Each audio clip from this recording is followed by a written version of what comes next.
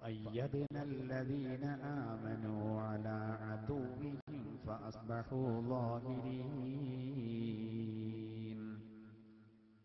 صدق الله العظيم ബഹുമാനപ്പെട്ട രക്ഷിതാക്കളെ എൻ്റെ പ്രിയപ്പെട്ട സഹോദരങ്ങളെ ക്ലാസ് റൂം വഴിയും മറ്റും ഇത് ശ്രദ്ധിച്ചുകൊണ്ടിരിക്കുന്ന വിശുദ്ധ ഖുർആാനിനെ പരിഗണിച്ച എന്റെ പ്രിയപ്പെട്ട ഏറെ ഇഷ്ടപ്പെടുന്ന സഹോദര സഹോദരിമാരെ അള്ളാഹു സുബാനഹുവത്താല വിശുദ്ധ ഖുർആൻ പഠിക്കുന്നതിന് വേണ്ടി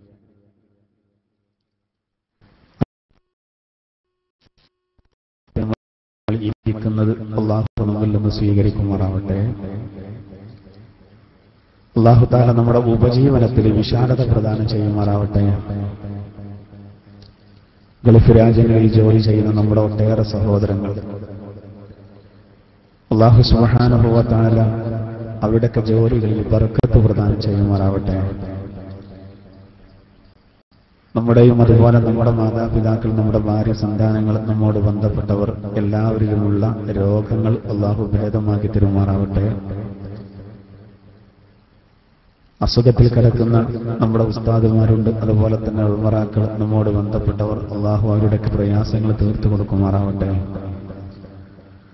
ആത്മാഭിമാനത്തോടുകൂടെ ജീവിക്കുവാനും പരിപൂർണ ഹിതായത്തിലായി ഈമാനിലായി മരിക്കുവാനും അള്ളാഹു നമുക്കെല്ലാവർക്കും ഭാഗ്യം നൽകുമാറാവട്ടെ. ആമീൻ. നമ്മൾ വിശദീകരിച്ചു വരുന്ന സൂറത്ത് സഫ് ഇതിന്റെ അവസാന ഭാഗമാണ് നമുക്ക് എടുക്കാനുള്ളത്. പന്ത്രണ്ട് മുതലുള്ള ആയത്തുകളാണ് എടുക്കാനുള്ളത്. പത്ത് മുതലുള്ള ആയത്തുകളാണ് ഞാൻ ഓതി വെച്ചത്.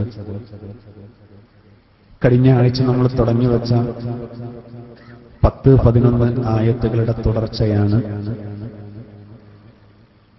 അതിന്റെ ബാക്കി ഭാഗമാണ് ഇന്ന് നമ്മൾ ചർച്ച ചെയ്യുന്നത്. അതുകൊണ്ട് ആ ആയത്തുകൾ കൂടി നമ്മൾ കൂട്ടി നേരത്തെ ഓതി. കഴിഞ്ഞ ക്ലാസ്സിൽ നമ്മൾ ചർച്ച ചെയ്തു അവസാനം മോദി വച്ച രണ്ടായത്തിൽ. സത്യവിശ്വാസികളെ വിളിച്ചുകൊണ്ട് അള്ളാഹു സുബാനുഭവത്താല കഠിനമായ നരകശിക്ഷയിൽ നിന്ന് രക്ഷ നൽകുന്ന ലാഭകരമായ ഒരു കച്ചവടത്തെ പറ്റി ഞാൻ നിങ്ങൾക്ക് അറിയിച്ചു തരട്ടെയോ എന്ന ശ്രദ്ധേയമായ ഒരു ചോദ്യം. എന്നിട്ട് ആ കച്ചവടം എന്താണെന്ന് തുടർന്ന് അള്ളാഹു താല വിശദീകരിക്കുന്നു. അള്ളാഹുവിനും അവന്റെ റസൂലിനും അചഞ്ചലമായി വിശ്വസിക്കുകയും ധനം കൊണ്ടും അതുപോലെ ശരീരം കൊണ്ടും അള്ളാഹുവിന്റെ മാർഗത്തിൽ സമരം ചെയ്യുകയും ചെയ്യുക. ഇതാണ് ലാഭകരമായ കച്ചവടം. നരകാഗ്നിയിൽ നിന്ന് രക്ഷ നൽകുന്ന സ്വർഗം ലഭിക്കുന്ന ലാഭമുള്ള കച്ചവടം അതാണ് എന്ന് അള്ളാഹു താല ആദ്യം നമ്മൾ നേരത്തെ ഓതി വെച്ച അവസാനത്തെ രണ്ടായത്തുകളിലൂടെ ഇന്ന് നമ്മൾ നമ്മൾ തുടക്കം കുറിച്ച രണ്ട് ആയത്തുകളിലൂടെ അള്ളാഹു താല പറഞ്ഞു. സാധാരണഗതിയിൽ നമ്മൾ കച്ചവടം തുടങ്ങുമ്പോൾ രണ്ട് പ്രധാനപ്പെട്ട ഘടകങ്ങളാണ് അതിലുള്ളത്. ഒന്ന് ആ കച്ചവടത്തിൽ. ഏത് കച്ചവടമാണെങ്കിലും മൂലധനമായിട്ട് നമ്മുടെ കൈവശം ചിലത് വേണം. ചരക്കുകൾ വാങ്ങുന്നതിന് വേണ്ടി അത് നമ്മൾ ചെലവഴിക്കേണ്ടി വരും. പിന്നെയാണ് ലാഭം കൊയ്യൽ. അതുപോലെ അതിന്റെ പിന്നിൽ നല്ല അധ്വാനവും വേണം. എത്രയോ സഹോദരങ്ങൾ വളരെ കഷ്ടപ്പെട്ട് ഹലാലായ രൂപത്തിൽ ബിസിനസ്സുകളും കച്ചവടങ്ങളും കൃഷികളൊക്കെ ചെയ്ത് സമ്പാദിക്കുമ്പോൾ ചില ആളുകളൊക്കെ അതിനെ ചെറുതാക്കി കാണിക്കാറുണ്ട്. യഥാർത്ഥത്തിൽ അതിന്റെ പിന്നിൽ വലിയ അധ്വാനമുണ്ട്. ബുദ്ധിപരമായും അതുപോലെ തന്നെ എല്ലാ നിലക്കും അതിന്റെ പിന്നിൽ വലിയ അധ്വാനമുണ്ട്. അപ്പൊ മൂലധനമായിട്ട് നമ്മൾ അറുക്കും പിന്നെ നമ്മുടെ ആരോഗ്യപരമായിട്ട് നമ്മൾ അതിന് ഒരുപാട് സമയം ചെലവഴിക്കും. അതിന്റെയൊക്കെ ഫലം ആ കച്ചവടത്തിൽ നിന്നുള്ള ലാഭം. നമ്മൾ ഉദ്ദേശിക്കുന്നു എന്നാൽ അതേ സമയത്ത് അതേപോലെ അള്ളാഹുവിന്റെ മാർഗത്തിൽ നമ്മുടെ ആരോഗ്യം അള്ളാഹുവിന്റെ മാർഗത്തിൽ നമ്മുടെ ധനം. ഇത് രണ്ടും നമ്മൾ ഇറക്കുന്ന ഈ ദുന്യാവിൽ നമുക്ക് കൊയ്യാൻ സാധിക്കുന്ന പ്രധാനപ്പെട്ട ഒരു സന്ദർഭമുണ്ട്. നരകാഗ്നിയിൽ നിന്ന് രക്ഷപ്പെട്ട് നാളെ പരലോകത്ത് രക്ഷപ്പെട്ടു അലഹമില്ല അതിന് ചില സന്ദർഭങ്ങളൊക്കെ വളരെ പ്രധാനപ്പെട്ടതുണ്ട്. മഹാന്മാര് വിശദീകരിക്കുന്നുണ്ടല്ലോ റജബ് മാസം പറഞ്ഞാൽ അത് വിത്തിറക്കാനുള്ള ടൈമാണ് കൃഷി ഇറക്കാനുള്ള ടൈമാണ് ഷഴബാൻ അത് നനച്ചു കൊടുത്ത് വീണ്ടും പരിപോഷിപ്പിക്കാനുള്ള ടൈമാണ്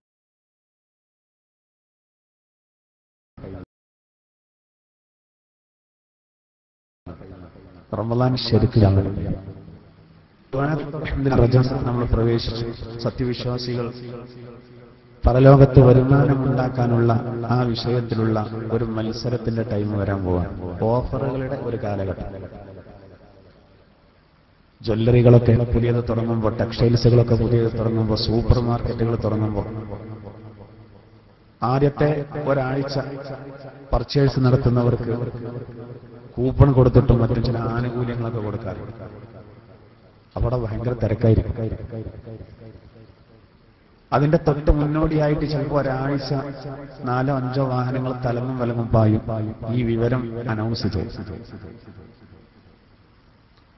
ഇവിടെ നോക്കൂ ഇവിടെ നമുക്ക് പരലോകത്തേക്ക് വാരാൻ സമ്പാദിക്കാൻ ഒരു മൂമിനായ മനുഷ്യന് വർഷത്തിലൊരിക്കൽ അള്ളാഹു നൽകുന്ന വലിയൊരു ആനുകൂല്യത്തിന്റെ ഒരു മുപ്പത് ദിവസം അല്ലെങ്കിൽ ഇരുപത്തൊമ്പത് ദിവസം വിശുദ്ധ റമദാൻ. ആ റമദാന് സ്വാഗതം അരുളിക്കൊണ്ട് റജവിനും ഷഹബാനിനും ബർക്കത്ത് ലഭിക്കാനും റമദാനിലേക്ക് വേഗത്തിലെത്താൻ അഗാധമായി കൊതിച്ച് സത്യവിശ്വാസികൾ പ്രാർത്ഥിക്കേണ്ട ടൈം തുടങ്ങി.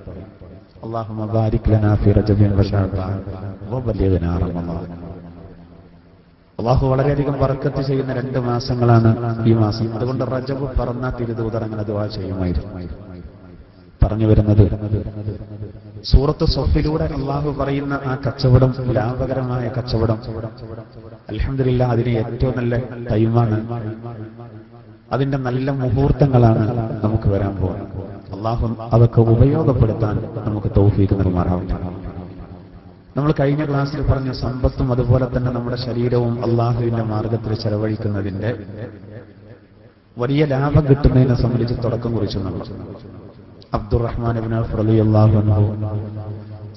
ഉസ്മാൻ അതുപോലെ തന്നെ മഹാനായ അബൂബക്കർ സിദ്ദീഖ് റളിയല്ലാഹു അൻഹു അവരോ അവരൊക്കെ അള്ളാഹുവിന്റെ വിശുദ്ധ ദീനിന് വേണ്ടി ചെലവഴിച്ചു അകമടിഞ്ഞു കൊടുത്തു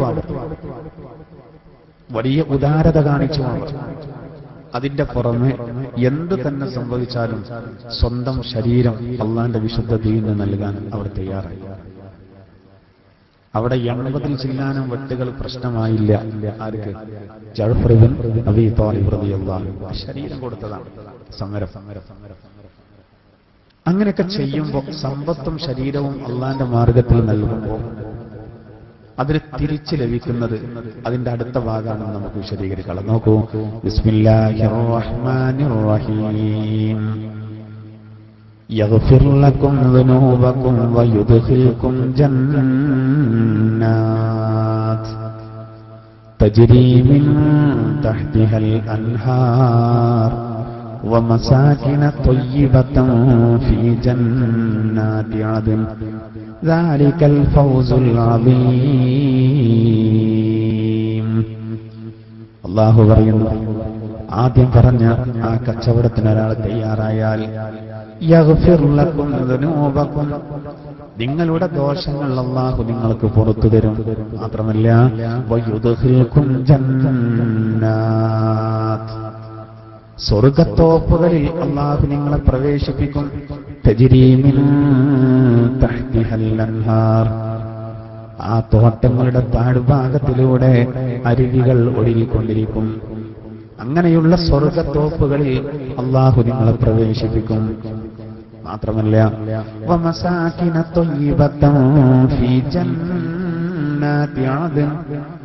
സ്ഥിരവാസത്തിന്റെ സ്വർഗത്തോപ്പുകളിൽ മനോഹരമായ മനോഹരമായ വാസസ്ഥലവും അത് വേറെയാണ്. മനോഹരമായ ഭംഗിയുള്ള വാസസ്ഥലവും അള്ളാഹു നിങ്ങൾക്ക് നൽകും. അതിൽ പ്രവേശിപ്പിക്കും അവൻ.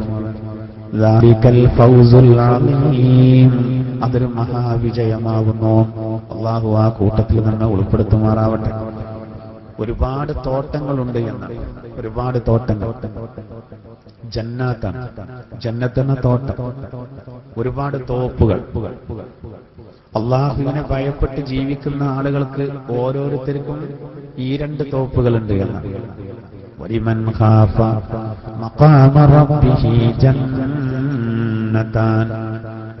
താല സൂറത്തു സൂറത്തു റഹ്മാനിൽ പറയുന്നുണ്ടല്ലോ അള്ളാഹുവിന്റെ സന്നദ്ധിയിൽ ഹാജരാക്കപ്പെടുന്നതിന് ഭയപ്പെടുന്ന ആളുകൾക്ക് അവർക്ക് രണ്ട് സ്വർഗത്തോപ്പുകളുണ്ട് ഓരോരുത്തർക്കും ഈ രണ്ട് സ്വർഗത്തോപ്പ്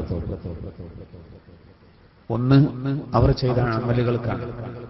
രണ്ട് വർജിക്കാൻ അള്ളാഹു കൽപ്പിച്ചതിനെ വർജിക്കുന്നവർക്ക് അതായത് നിസ്കരിക്കുന്നവർക്ക് നോമ്പ് നോറ്റവർക്ക് അപ്പേരിൽ ഒരു കള്ള് കുടിക്കാതിരുന്നതിന് വ്യഭിചരിക്കാതിരുന്നതിന് അതിന് വേറെ അതല്ലെങ്കിൽ നിർബന്ധ കാര്യങ്ങൾ ചെയ്തു ഹറാമോ ഉപേക്ഷിച്ചു അതിന് ഒരു സ്വർഗം കൂലി രണ്ടാമത്തത് അള്ളാഹുവിന്റെ വകയായിട്ട് ഒരാളെ നമ്മൾ കൂലിക്ക് വിളിച്ചു. അയാൾക്ക് അഞ്ഞൂറ് രൂപയാണ് ഒരു ദിവസത്തെ ജോലിക്കുള്ള കൂലി. അയാളെ കയ്യിൽ ആയിരം വെച്ച് കൊടുത്തു. അഞ്ഞൂറ് കൂലിയാണ് ആയിരം നമ്മുടെ വകയാണ് എന്ന് പറഞ്ഞതുപോലെ. രണ്ട് സ്വർഗം ഒന്ന് നമ്മൾ ഇവിടെ അധ്വാനിച്ചതിന് പകരം രണ്ട് അള്ളാഹുവിന്റെ വക. ഒക്കെ അള്ളാന്റെ വക തന്നെ. പക്ഷെ ഒന്ന് സ്വഭാവം ഒന്ന് സുഹാൻ സുഹാനല്ലാ എന്തൊക്കെ? ഇവിടെ തന്നെ അള്ളാഹു പറയുന്നത് പിന്നെ അതിൽ മനോഹരമായ വാസസ്ഥലമുണ്ടെന്ന് പറഞ്ഞാൽ സഹോദര ഒരുപാട് റൂമുകളുള്ള കൊട്ടാരം. റൂമുകളിൽ വേറെ റൂമുകൾ. അതിനെപ്പറ്റി അള്ളാഹുവിന്റെ തിരുതൂതൽ വിശദീകരിക്കുന്നുണ്ട്. മനോഹരമായ മുത്തുകൊണ്ട് മാണിക്കൊണ്ട് നിർമ്മിക്കപ്പെട്ട കൊട്ടാരം. അവിടെ ഒരുപാട് വീടുകളുണ്ട് പല പേരുകളിലും. അതൊക്കെ വ്യത്യസ്തമായ രൂപത്തിൽ അള്ളാഹു നൽകും. സ്വർഗം ഒരു ലോകമാണ്. അവിടെ എത്തിയാൽ മതി. ദാറുന്നൂറുണ്ട് അവിടെ. വിസ്മിയുമായി നല്ല ബന്ധമുള്ള ആളുകൾക്ക് പ്രത്യേകം ഒരുക്കി വെച്ചത്. ചെറുപ്പത്തിൽ ചെറിയ കുട്ടികൾ മരിച്ച രക്ഷിതാക്കൾ മാതാപിതാക്കൾ. അതിന്റെ പേരിൽ വളരെയധികം ക്ഷമ കൈകൊണ്ട് അള്ളാഹു നൽകിയതിനെ അള്ളാഹു തിരിച്ചു പിടിച്ചു ആ വിഷയത്തിൽ നല്ല ക്ഷമ കൈകൊണ്ടവർ അങ്ങനെയുള്ള ആളുകൾക്ക് ബൈത്തുൽ എന്ന് പറഞ്ഞ് മനോഹരമായ ഒരു ഭവനം അള്ളാഹു വേറെ ഒരുക്കി വെച്ചിട്ടുണ്ട്.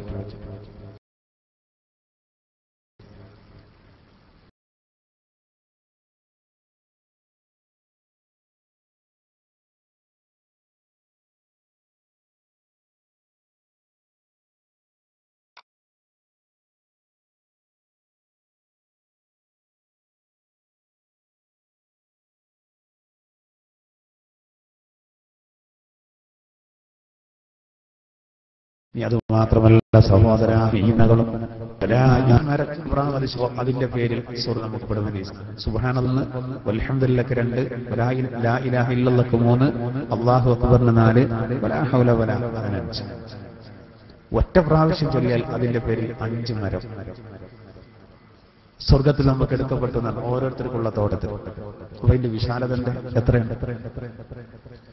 ആ സ്വർഗത്തോപ്പുകളിൽ അതിന്റെ ഉള്ളിൽ കയറും എന്ന് മാത്രമല്ല അതിൽ മനോഹരമായ വാസസ്ഥലമുണ്ട് എന്ന്. എന്നിട്ട് വീണ്ടും അല്ല പറയുന്നത്.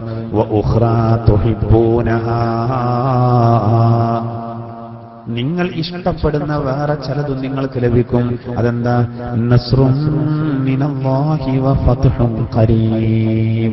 അള്ളാഹുവിൽ നിന്നുള്ള സഹായവും ആസന്നമായ വിജയവും അത് നിങ്ങൾക്ക് ലഭിക്കുന്നതാണ്. وبشر المؤمنين മുഅ്മിനീങ്ങളോട് സന്തോഷിക്കാൻ സന്തോഷ വാർത്ത അറിയിക്കാൻ നബിയോട് അള്ളാഹു താല കൽപ്പിക്കാൻ അവിടെ ശ്രദ്ധേയമായ ഒരു കാര്യം എന്താ ഇത് എല്ലാ കാലത്തും നമ്മൾ ചിന്തിക്കേണ്ടതാണ് നോക്കൂ അല്ല പറയുന്ന എന്താ അള്ളാന്റെ മാർഗത്തിൽ സമരം ചെയ്യുന്നവർ സമ്പത്ത് ദീനിന്റെ വഴിയിൽ ചെലവഴിക്കുന്നവർ ആരോഗ്യം ദീനിന്റെ വഴിയിൽ ചെലവഴിക്കുന്നവർ അങ്ങനെയുള്ളവർക്ക് നല്ല ലാഭമുള്ള കച്ചവടം. അവർക്ക് സ്വർഗമുണ്ട്. സ്വർഗത്തോപ്പുകളിൽ എല്ലാ സൗകര്യങ്ങളും അതിന്റെ പുറമെ മറ്റൊരു അനുഗ്രഹവും അവർക്ക് ലഭിക്കുന്നു. ഏറെ അവർ ഇഷ്ടപ്പെടുന്നത് അത് അള്ളാഹുവിൽ നിന്നുള്ള സഹായവും ആസന്നമായ വിജയവും. അത് ദുന്യാവുന്ന ലോക മുസ്ലിമീങ്ങൾക്ക് ആശ്വാസം പകരുന്ന ആയത്താണിത് എല്ലാ കാലത്തും ഇത് നബിയുടെ കാലത്ത് മാത്രല്ല. സഹോദരായ എത്ര പ്രയാസങ്ങൾ വന്നു. ഇന്നിപ്പോ ലോകത്തിന്റെ പല ഭാഗത്തും പ്രയാസപ്പെടുന്നുണ്ട്. സത്യവിശ്വാസികൾ സത്യവിശ്വാസികളായി എന്ന ഒറ്റ കാരണത്താൽ പ്രയാസപ്പെടാൻ ഒരു തെറ്റും ചെയ്തിട്ടില്ല. മുഗ്മിനായി മുസ്ലിമായി എന്നതിന്റെ പേരിലാണ് പീഡനങ്ങൾ. ഇറങ്ങി നടക്കാൻ പറ്റാത്ത അവസ്ഥ. ചില ഏരിയകളിലൂടെ വെറുതെ പിടിച്ചടിക്കുക മർദ്ദിക്കുക യാത്ര പോകാൻ പറ്റാത്ത അവസ്ഥ ആരാധനാലയങ്ങൾ പരസ്യമായിട്ട് തകർക്കപ്പെടുന്ന അവസ്ഥ ഇസ്ലാമിക ഐഡന്റിറ്റി കാത്തു സൂക്ഷിച്ചാൽ അതിനെതിരെ ആക്രമണങ്ങൾ നടക്കുക. ഇന്നിപ്പോ ലോകത്തിന്റെ പരഭാഗത്ത് നടക്കുന്നു. ഇത് തന്നെയല്ല ആയിരത്തി നാനൂറ് കൊല്ലങ്ങൾക്ക് മുമ്പ് നടന്നത്. എന്ത് തന്നെ വന്നാലും സത്യവിശ്വാസികൾക്ക് പിടിച്ചു നിൽക്കാൻ കഴിയണമെന്നാണ് അത് പഠിപ്പിക്കണത്. അള്ളാന്റെ തിരുദൂതർ പോലും എത്ര പ്രയാസപ്പെട്ടു എത്ര അവഹേളനങ്ങൾ എത്ര മർദ്ദനങ്ങൾ പല്ലുപൊട്ടിയില്ല കൊല്ലാൻ അവർക്ക് സാധിക്കാതെ വന്നത് അതല്ലാതെ ഒരുപാട് പ്രയാസങ്ങൾ സഹിച്ചിട്ടുണ്ട് തന്റെ അനുചരന്മാർ സഹിച്ചിട്ടുണ്ട്. അതിൽ ആദ്യഘട്ടത്തിൽ വളരെ പീഡനങ്ങൾ സഹിച്ചതാണ് യാസിർ കുടുംബം. അവർ നബിയോട് പറഞ്ഞു എന്ത് ചെയ്യും നബിയൻ അത്രക്കും പ്രയാസങ്ങൾ. സ്വർഗം നിങ്ങളെ കാത്തിരിക്കുന്നുണ്ട് എന്ന് മുഹമ്മദ് മുസ്തഫ സല്ലല്ലാഹു അലൈഹി വസല്ലം മരണം ഏറ്റുവാങ്ങിയ കുടുംബം. അതിമൃഗീയമായ രൂപത്തിൽ പീഡിപ്പിക്കപ്പെട്ട് കൊല്ലപ്പെട്ട് സയ്യിദനായ യാസിർ റളിയല്ലാഹു അൻഹു അദ്ദേഹത്തിന്റെ ഭാര്യ സുമയ്യ ബി റളിയല്ലാഹു അൻഹ എന്താ കാരണം? അവർക്കതൊരു വിഷയായില്ല. ഇരുമ്പിന്റെ പടയെങ്കിൽ ചുട്ടു പഠിപ്പിച്ച് ശരീരത്തിൽ വെച്ചിട്ടും യാസിർ റളിയല്ലാഹുവിന് പതറിയില്ല. എന്തുകൊണ്ട്? ഇത് ദുന്യാവാണ്. അതിന്റെ ശേഷം അലഹമില്ല ഇതാ വരാൻ പോകുന്നു സ്വർഗം. പുണ്യനബി വാഗ്ദത്തം ചെയ്തതാണ്. എന്തിനു പേടിക്കണം? ആ ഒരു ചിന്തയായിരുന്നു യഥാർത്ഥത്തിൽ അവർക്കുണ്ടായിരുന്നത്. പക്ഷെ അള്ളാഹു പറഞ്ഞെന്താ? അങ്ങനെയുള്ളവർക്ക് സ്വർഗം. വെള്ളം കൊടുക്കാതെ ബുദ്ധിമുട്ടാക്കിയില്ല? വെള്ളമില്ലാതെ ഭക്ഷണമില്ലാതെ മാരകമായി പരിക്ക് പറ്റി. അങ്ങനെ എത്ര പേർ പോയി? പക്ഷെ അള്ളാഹു തല പറയുന്നെന്താ? സാരല്ല. സ്വർഗം ഇതാ വരാൻ പോകുന്നു. ആ സ്വർഗത്തിൽ അവർക്ക് ലഭിക്കാൻ പോകുന്ന തോട്ടത്തിന്റെ താഴ്ഭാഗത്തിലൂടെ അരുവികൾ ഒഴുകിക്കൊണ്ടിരിക്കുമെന്നാണ് അള്ളാഹു താല പറഞ്ഞത്. അരുവികൾ ഒഴുകിക്കൊണ്ടിരിക്കും. അത് തന്നെ എന്താ അതിന്റെ ഉദ്ദേശം? അതിന്റെ വ്യാഖ്യാനത്തിൽ കാണാം.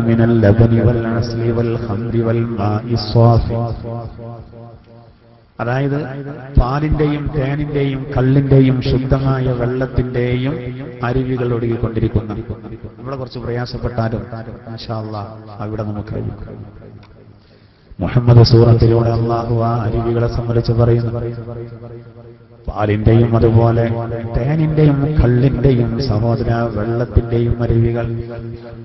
അങ്ങനെ എല്ലാ സൗകര്യങ്ങളും ഇവിടെ എത്ര പ്രയാസം സഹിച്ചോ അതിനൊക്കെ കിട്ടും. ഇനി അതിന്റെയൊക്കെ പുറമെ സഹോദര അന്ന് പറഞ്ഞതെന്താ? നിങ്ങൾക്ക് സന്തോഷമുള്ള വേറൊന്ന് കിട്ടും. അത് അള്ളാഹുവിൽ നിന്നുള്ള സഹായവും ആസന്ന വിജയവും. ബദർ കണ്ടില്ലേ? ആദ്യകാലത്ത് സഹോദര വളരെയധികം പ്രയാസപ്പെട്ട സ്വഭാവത്തിന് അലഹമില്ല ബദറിൽ വിജയമുണ്ടായി. നമ്മൾ പരമാവധി കുഴപ്പങ്ങളൊക്കെ ഒഴിവാക്കി നല്ല രൂപത്തിൽ ജീവിച്ചു. ഗത്യന്തരമില്ലാത്തതുകൊണ്ട് ജന്മനാട് വിട്ടു പോകേണ്ടി വന്നു. എത്രത്തോളം ക്ഷമിച്ചു. പതിമൂന്ന് കൊല്ലക്കാലം എല്ലാം ക്ഷമിച്ചു. പക്ഷെ അള്ളാഹു പറഞ്ഞെന്താണ് പ്രയാസപ്പെടേണ്ട. നിങ്ങൾക്ക് ആസന്ന വിജയം വരാൻ പരീക്ഷണ പരീക്ഷണമാണ്. സഹോദര പരീക്ഷണങ്ങളാണ് പരീക്ഷണങ്ങളിൽ നമ്മൾ വിജയിക്കണം. വിജയിക്കാൻ കഴിയണം നമുക്ക്. എല്ലാ നിലക്കും പ്രയാസങ്ങൾ വരും. സത്യവിശ്വാസികളാവുമ്പോൾ പ്രയാസങ്ങൾ ഉണ്ടാവും അത്ഭുതപ്പെടേണ്ട ആവശ്യമില്ല. അതിൽ വേവലാതിപ്പെട്ട് ഈമാൻ നഷ്ടപ്പെടുത്താൻ പാടില്ല. എന്തുകൊണ്ട്? അള്ളാഹു പറയണ ആസന്നമായ വിജയം എന്താ വരാൻ പോവാ. അള്ളാന്റെ സഹായം. അതല്ലേ ബദറിൽ വിജയിച്ചില്ലേ ഒരിക്കലും പ്രതീക്ഷിക്കാത്ത വിജയല്ലേ ആയിരത്തിലായിരത്തോളം വരുന്ന സർവായുധ വിഭൂഷിതരായ അബൂജഹലിന്റെ പട്ടാളം നിരായുധരായ മുന്നൂറ്റി പതിമൂന്നിനോട് തോറ്റുപോയി. എന്താ കാരണം? അള്ളാഹു തല അയ്യായിരത്തോളം മലക്കുകൾ ഇറക്കി കൊടുത്തു. റസൂൽ സുജൂദിൽ കടന്ന് അതിനു വേണ്ടി ദുആയിരുന്നു ആ ദുബായിൽ നബി ഉപയോഗിച്ച രണ്ട് നാമങ്ങളുണ്ട് അള്ളാഹുവിന്റെ പേരുകളും. ഏതാ? ഹയ്യ് നല്ല ഉത്തരം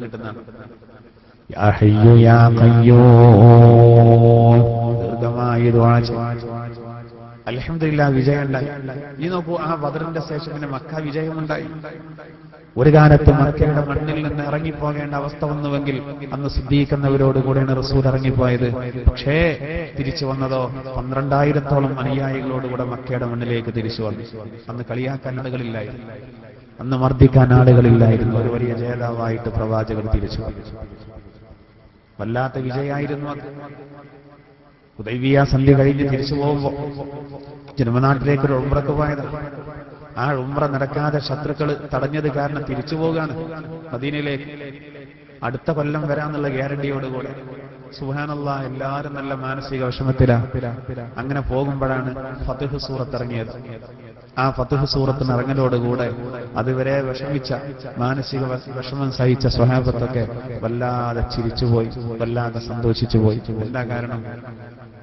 ഹുദൈവിയ സന്ധിയിൽ സുൽഹുൽ ഹുദൈവിയ അതിൽ ഒപ്പുവെച്ചതോടുകൂടെ പ്രത്യക്ഷത്തിൽ അത് നമുക്ക് വഷളത്തരാണെന്ന് തോന്നിയിരുന്നു. പക്ഷെ നബിയുടെ ആ ദീർഘവീക്ഷണം അള്ളാഹു അതിന് അടിവരട്ടെ ദാ വലിയ വിജയമാണ് നിങ്ങൾക്ക് വരാൻ പോകുന്നത്.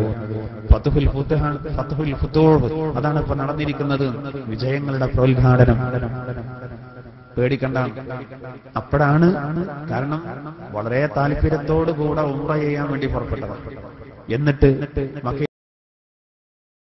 മക്കയിലേക്ക് വരാൻ പറ്റില്ല എന്ന് അവർ പറയാം. നബിയുടെ ഇവിടെയുള്ള തീവ്ര പേര് സ്വഹാബിമാര് പറയുന്നത് മക്കയിലേക്ക് അടിച്ചു കയറണം ജന്മനാടാണ്. അടിച്ചു കയറിയാൽ ഇവിടെയൊക്കെ ചെയ്യാം കുഴപ്പമുണ്ടാവും. റസൂൽ വന്നത് വേണ്ട. അങ്ങനെയാണ് ശത്രുക്കളുമായി വ്യവസ്ഥ തയ്യാറാക്കിയത്. ആ വ്യവസ്ഥ മുഴുവനും പ്രത്യക്ഷത്തിൽ നമുക്ക് പ്രതികൂല. നമ്മുടെ ആത്മാഭിമാനം അത് ആകെ നഷ്ടപ്പെട്ടോ എന്ന് തോന്നി പോകുന്ന രൂപത്തിലായിരുന്നു. പക്ഷേ മുതിർന്നവർ പറയുമ്പോൾ കേൾക്കണം. ദീർഘവീക്ഷണായി തിരിച്ചു വരുന്ന സമയത്ത് അള്ളാഹുവിന്റെ തിരുദൂതർക്ക് വചനങ്ങൾ ഇറങ്ങി ഫതുഹ് സൂറത്ത് ഉമർ അലി അള്ളാഹു അന്നടക്കം വല്ലാത്ത സന്തോഷം. നാതിലേറെ ഖേദം. എന്തേ? നബിയോട് തട്ടിക്കേറി നിങ്ങൾ അള്ളാൻ റസൂലല്ലേ എന്ന് ചോദിച്ചത്. ഈമാൻ കൊണ്ട് ചോദിച്ചതാ. നമ്മൾ എന്തിനു കുറഞ്ഞു കൊടുക്കണം? ഇസ്ലാം സമാധാനത്തിന്റെ വഴി സ്വീകരിച്ചു ഇന്നാ ഫതഹ്നാ ലക ഫതഹൻ മുബീന എന്ന് പറഞ്ഞു അള്ളാഹു തആല തിരക്കി ആ സ്വഹാബത്ത് ആയിരത്തി നാനൂറ് പേരെ പ്രകീർത്തിച്ചുകൊണ്ട് അള്ളാഹു താല ആയത്തിറക്കി അവർ ഏത് പ്രതിസന്ധി ഘട്ടത്തിൽ നബിയുടെ കൂടെ നിൽക്കുമെന്ന് പറഞ്ഞ് ഒരു മരത്തിന്റെ ചുവട്ടിൽ വെച്ചിട്ട് ബൈഅത്ത് ചെയ്തതാണ് നബിയുടെ ഉടമ്പടി ചെയ്തതാണ്. ബൈഅത്ത് റിദ്വാൻ എന്ന് പറയും ചരിത്രത്തിൽ അതിന്റെ പേര്. അവരെ അള്ളാഹു പ്രത്യേകം എടുത്തു പറഞ്ഞു പത്ത് സൂറത്ത്. അവസാനം അന്ന് ആയിരത്തി നാനൂറ് പേരാണെങ്കിൽ അത് ഹിജറയുടെ ആറാമത്തെ വർഷ രണ്ട് വർഷം കൊണ്ട് അത് പതിനായിരത്തിലധികമായി. അങ്ങനെ പന്ത്രണ്ടായിരത്തോളം ആളുകളോട് കൂടെയാണ് ഹിജറയുടെ എട്ടാമത്തെ വർഷം നിബിതങ്ങൾ മക്കയിലേക്ക് വന്നത്. എതിർക്കാൻ ആരുമില്ലായിരുന്നു ഉള്ള ശത്രുക്കൾക്ക് എതിർക്കാനുള്ള നട്ടല്ലില്ലായിരുന്നു സഹോദര ഒരു നരിയുടെ മുന്നിൽപ്പെട്ട ഒരാളെ പോലെ പ്രവാചകരുടെ മുന്നിൽ അവർ പേടിച്ചു പറച്ചിരിക്കുകയാണ്. എന്തുകൊണ്ട്? നേരത്തെ കഠിനമായ പീഡനങ്ങൾ അഴിച്ചുവിട്ടവര് അവരുടെ പിന്മുറക്കാരാ.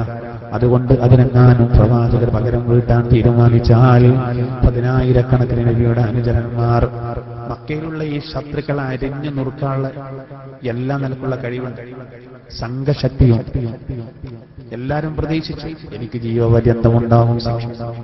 ചിലർ വിചാരിച്ചു എനിക്ക് വധശിക്ഷയായിരിക്കും എന്നെ ഒരിക്കലും വെറുതെ വിടൂല ഞാൻ അങ്ങനെ കളിച്ചോനാ. സഹോദര മസ്ജിദുൽ ഹറാമിനും അബൂ സുഫിയാന്റെ വീട്ടിലും സ്വന്തം വീടുകളിലും പേടിച്ചരണ്ടിരിക്കുന്ന ശത്രുക്കൾ. റസൂൽ എന്താ ചെയ്തത്? കഴിവ് ശുദ്ധീകരിച്ച് തവാഫ് കഴിഞ്ഞതിന്റെ ശേഷം എല്ലാരെയും വിളിച്ചുകൂട്ടി. ഇവരിങ്ങനെ വറച്ചിരിക്കാൻ എന്ത് തീരുമാനം എടുക്കാൻ കാരണം ഉമർ അലിയല്ലാൻ അടക്കമുള്ളവർ ജാഗരൂകരായിട്ട് നിൽക്കാൻ എന്തിനും തയ്യാറായി. അപ്പോളാ റസൂൽ പ്രഖ്യാപിച്ചത് ഇത്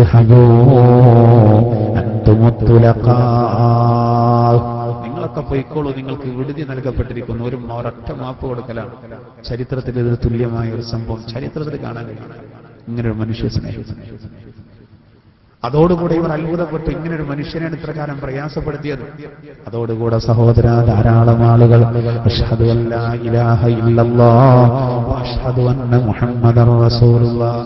ഈ പുണ്യ തീരത്തേക്ക് കടന്നു വന്നുവെന്ന് ചരിത്രം പറയുന്നു. അള്ളാഹു വലിയ വിജയമാണ് നൽകിയത്. ഇന്ന് മക്കയും മദീനയും നോക്കൂ. ഒറ്റ വിശ്വാസിക്ക് പ്രവേശനമില്ലാത്ത നാട്. അള്ളാഹു ആ യുദ്ധത്തെ നിലനിർത്തി പെരുമാറാവട്ടെ ഞാൻ പറയുന്നത് അള്ളാഹു പറയാണ് നിങ്ങൾക്ക് ഇവിടെ തന്നെ വിജയം വരും. അള്ളാന്റെ സഹായം ഉണ്ടാവും. പക്ഷെ ഉറച്ചു നിൽക്കണം ഇത് ലോക മുസ്ലിമീങ്ങൾ ഇന്ന് പഠിക്കേണ്ട ഒരു കാര്യമാണ്. നമുക്ക് ഈമാനും അമലുകളും ആത്മാർത്ഥമായിട്ട് ഉണ്ടെങ്കിൽ നമ്മൾ ഒരു ശത്രുവിനെയും പേടിക്കണം ഇതൊക്കെ ഒന്നായിട്ടുണ്ട്. പൊളിച്ചിടണം എന്നാണ് ചില ആളുകളുടെ ധാരണ. അതിന് പറ്റിയ പ്രധാനമന്ത്രിമാരും മുഖ്യമന്ത്രിമാരും ഒക്കെ ഉള്ള ഒരു നാടാണ് നമ്മൾ മനസ്സിലാക്കേണ്ടത്.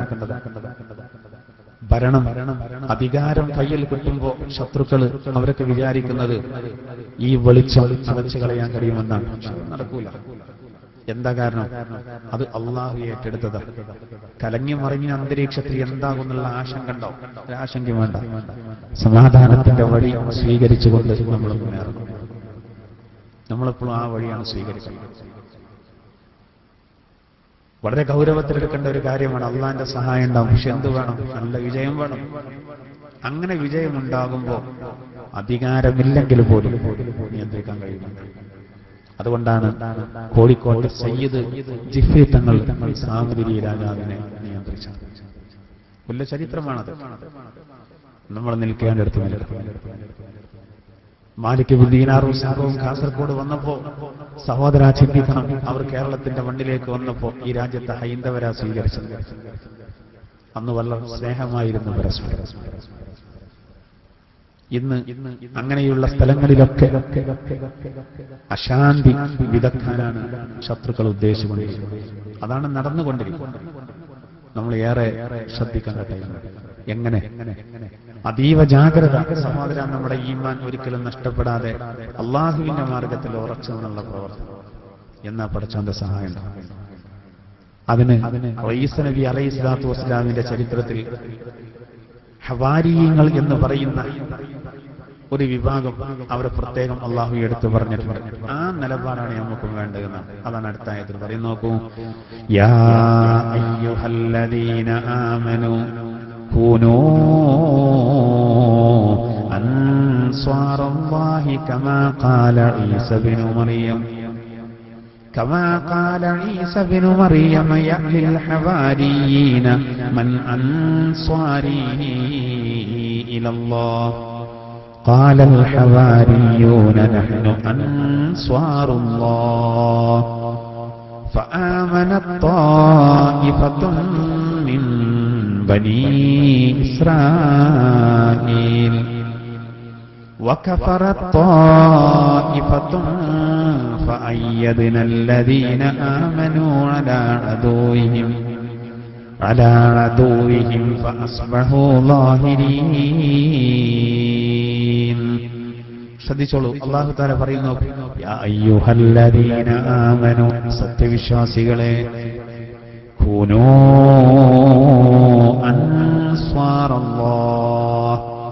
നിങ്ങളൊക്കെ അള്ളാഹുവിന്റെ സഹായികളാകണം. അള്ളാഹുവിന്റെ പ്രയോഗം. സത്യവിശ്വാസികളെ നിങ്ങളൊക്കെ അള്ളാഹുവിന്റെ സഹായികളാകണം.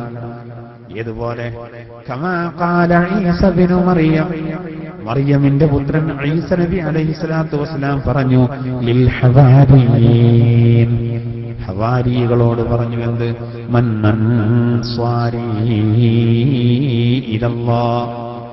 അള്ളാഹുവിന്റെ മാർഗത്തിലേക്ക് എന്നെ സഹായിക്കാൻ ആരാണുള്ളത് എന്ന് ഹവാരികളോട് പറഞ്ഞു. കാലൽ ഹവാരിയോൻ. അപ്പോൾ ഹവാരികൾ പറഞ്ഞതെന്താ?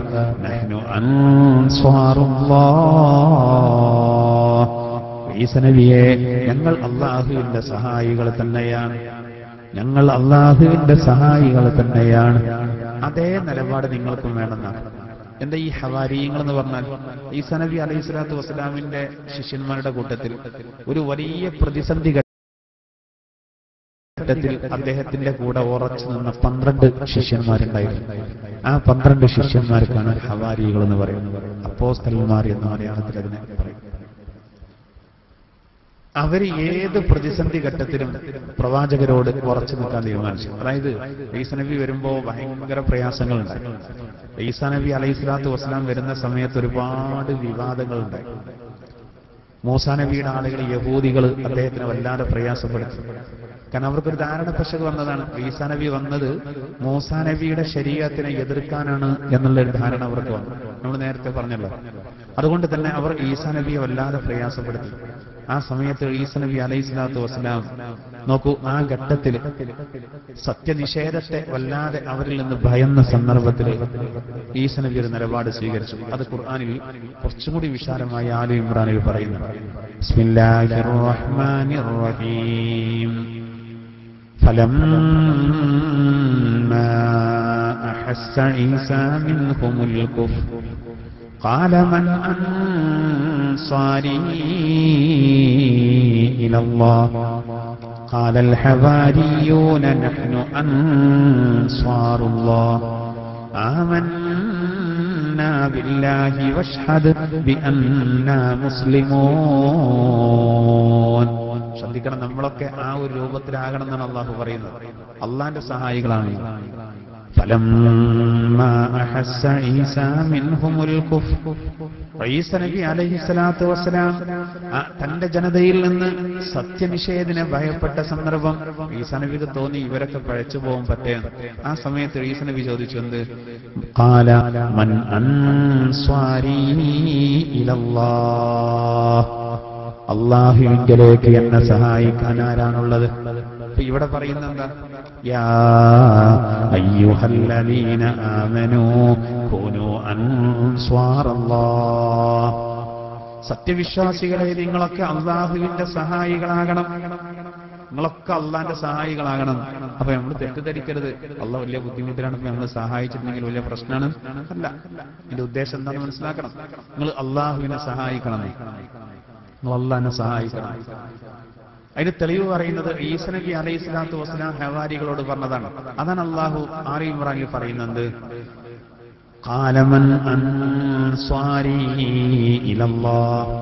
ഈസനബി തന്റെ ജനതയോട് പറഞ്ഞു അള്ളാഹുവിങ്കലേക്ക് എന്നെ സഹായിക്കാൻ ആരാണുള്ളത്? കാലൽ ഹവാരിയോ? ആ സമയത്ത് ഹവാരിയങ്ങൾ പറഞ്ഞു എന്ത്? നഹ്നു അൻസാറുള്ള ഞങ്ങൾ അള്ളാഹുവിന്റെ സഹായികളാണ് ഈസ. ഈസ നബിയെ ഞങ്ങൾ അള്ളാഹുവിന്റെ സഹായികളാണ്. ബില്ലാഹ് ഞങ്ങൾ അള്ളാഹുവിനെ കൊണ്ട് വിശ്വസിച്ചവരാണ് വിശ്വസിച്ചിരിക്കുന്നു. അതുകൊണ്ട് വഷ്ഹദ് ബി മുസ്ലിമൂൻ. സാക്ഷിയാകണം ഞങ്ങളൊക്കെ മുസ്ലിങ്ങൾ തന്നെയാണ്. ഈസനവിന് അനുയായികൾ പറഞ്ഞത് അന്ന് പറഞ്ഞത് ഞങ്ങൾ മുസ്ലിങ്ങളാണ്. അള്ളാഹുവിങ്കൽ സ്വീകാര്യമായത് ഇസ്ലാം മാത്രമാകുന്നു. ഇബ്രാഹിം നബി നൂറ്റാണ്ടുകൾക്ക് മുമ്പ് മക്കയിൽ വെച്ച് വരുന്നതാണ് മുസ്ലിമാക്കളെന്നെ അപ്പോ അല്ല സ്വീകരിക്കുന്ന മതം ഇസ്ലാം. ആ ഇസ്ലാമിലെ ഓരോ മെമ്പർമാർക്കും മുസ്ലിം എന്ന് പറയുന്നത് അനുസരണയുള്ളവർ ഇവിടെ ഈസനബിയോട് തന്റെ അനുയായികൾ പറയാൻ ഞങ്ങൾ സഹായിക്കും. ഞങ്ങൾ അള്ളാന്റെ സഹായികളാണ്. സാക്ഷ്യം വഹിക്കുക എന്ത്? ഞങ്ങൾ മുസ്ലിങ്ങളാണ്. ഞങ്ങൾ അനുസരിക്കും. അനുസരണയുള്ളവരാണ്. ഹവാരി എന്ന് പറഞ്ഞാൽ വസ്ത്രം വെളുത്തവർ നടത്തണം. പ്രധാനപ്പെട്ട അർത്ഥം സഹായികൾ അതിനുള്ള യോജിപ്പ്. അള്ളാഹുവിന്റെ വിഷയത്തിൽ അള്ളാഹുവിങ്കിലേക്ക് ആരാ സഹായിക്കുക? ഞങ്ങൾ സഹായിക്കുന്നു അവരാണ് ഹവാരി? പന്ത്രണ്ട് ആളുകൾ പറഞ്ഞു ഞങ്ങൾ സഹായിക്കും ഞങ്ങൾ എപ്പോഴും കൂടെ ഉണ്ടാവും ഇത് നോക്കൂ ഹവാരിങ്ങൾക്ക് ഒരു പ്രാർത്ഥന ഉണ്ട് ആ പ്രാർത്ഥന നമ്മൾ പ്രാർത്ഥിക്കണം അതെന്താ അതാണ് അള്ളാഹു താല ആലു ഇമ്രാനിലെ അൻപത്തി മൂന്നാമത്തെ ആയത്തിൽ പറയുന്നത് റബ്ബന ആമന്നാ ബിമാ أنزلت واتبعنا واتبعنا الرسول فاكتبنا مع الشاهدين ഞങ്ങളുടെ നാഥ ആമന്നാ ബി ആമന്ന ബിമാ അൻസൽ അള്ളാഹുവെ നീ ഇറക്കിയതിനെ കൊണ്ട് ഞങ്ങൾ വിശ്വസിച്ചിരിക്കുന്നു. റസൂൽ റസൂലിനെ ഞങ്ങൾ പിൻപറ്റുകയും ചെയ്തിരിക്കുന്നു അനുകരിക്കുകയും ചെയ്തിരിക്കുന്നു. അതുകൊണ്ട് സത്യത്തിന് സാക്ഷിയായവരുടെ കൂടെ അവരുടെ കൂട്ടത്തിൽ ഞങ്ങളെയും നീ രേഖപ്പെടുത്തണേ. ആര് ദ്വാരക്കാണ്?